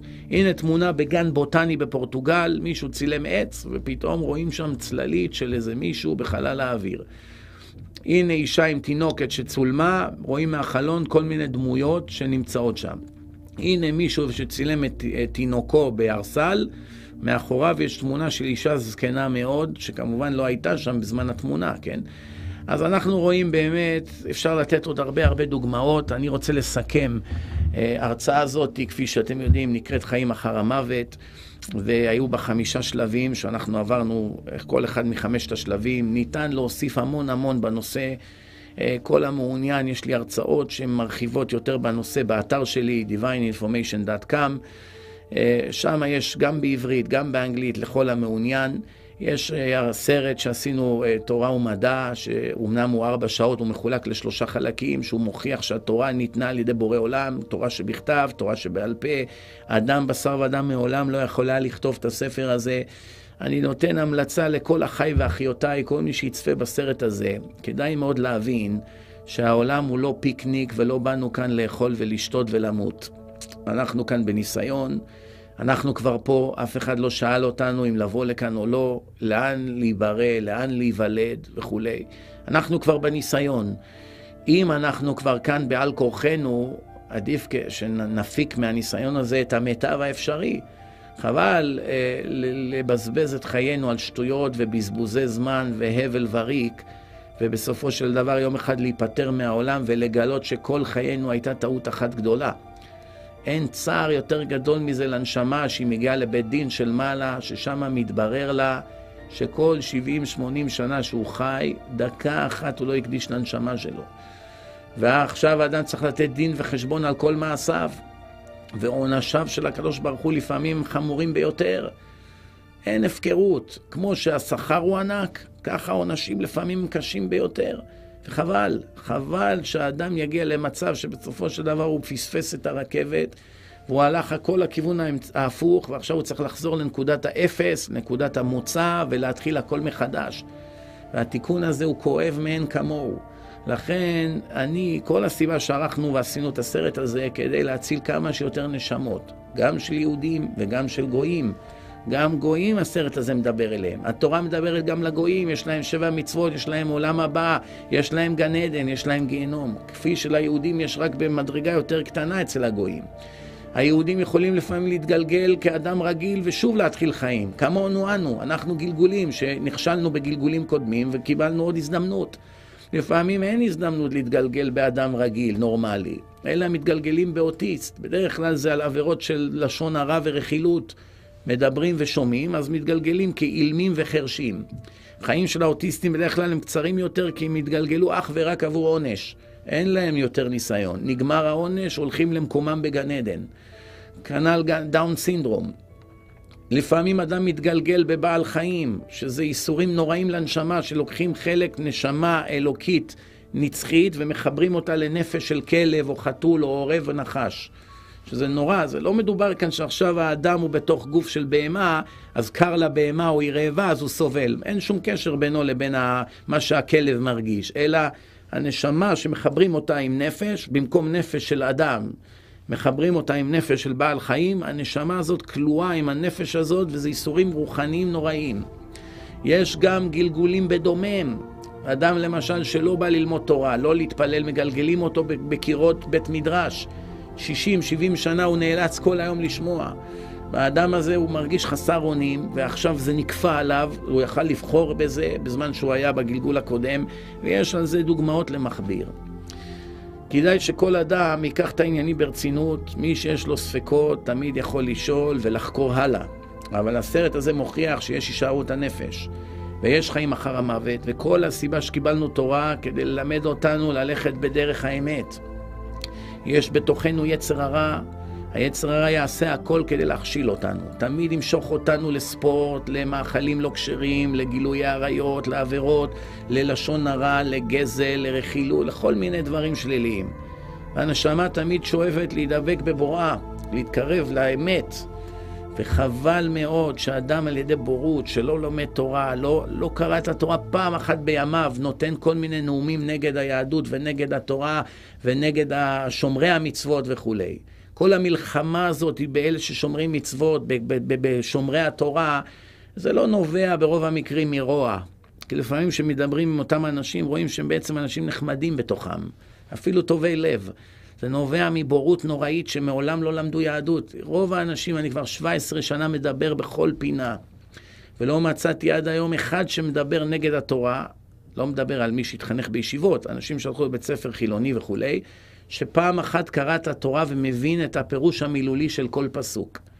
לא מצאתי אחד כזה. אני תמיד שואל בהרצאות, יש כאן מישהו שקרא את כל התורה ויודע את הפירוש של כל המילים? ואין אחד, ונותנים אלפי נאומים נגד, כותבים אה, כתובות נאצה, דברים ארסיים נגד. מלבד זה שאדם רק מחמיר את עונשו, שמדבר נגד אלה שהולכים בדרכו של בורא עולם ומכעיסים אותו. מלבד כל הדברים האלה, אדם פוגע בעצמו הוא. עצמו, הוא הורס לעצמו את כל עתידו, את העתיד הנצחי שלו. יש שאלה שכולם שואלים, איפה הצדק? למה הצדיקים סובלים לפעמים והרשעים חוגגים? התשובה לכך היא פשוטה מאוד, ויש כאן בורות שאנשים לא ערים לה. אם כל אדם היה מקבל את שכרו מיד, או את עונשו מיד, לא הייתה לאדם בחירה. אם כל אדם שהיה נותן צדקה מיד היה מרוויח כפול. כל אדם שגונב מיד מפסיד כפול. כל אדם שרוצח מיד הורגים אותו. כל אדם שחילל שבת מיד מתפוצץ. כל אדם שדיבר לשון הרע מיד מקבל אגרוף. אז מי היה רשע? איזה אדם היה הולך נגד חוקי התורה? אף אחד לא היה מעז, כי מיד התגובה מיד מגיעה. לכן בורא עולם בחוכמתו העילאית סידר שכל דבר ודבר שאנחנו עושים ייראה כביכול אין דין ואין דיין. אבל נתן לנו תורה מלשון הוראה, והתורה הזאת ניתנת באלפי דרכים להוכחה שרק זה שברא את העולם יכול היה לכתוב אותה. אף אדם לא יכול לכתוב, יש שם הוכחות על מספר הכוכבים בגלקסיות, דבר, אף אחד לא ידע את זה לפני 3,300 שנה.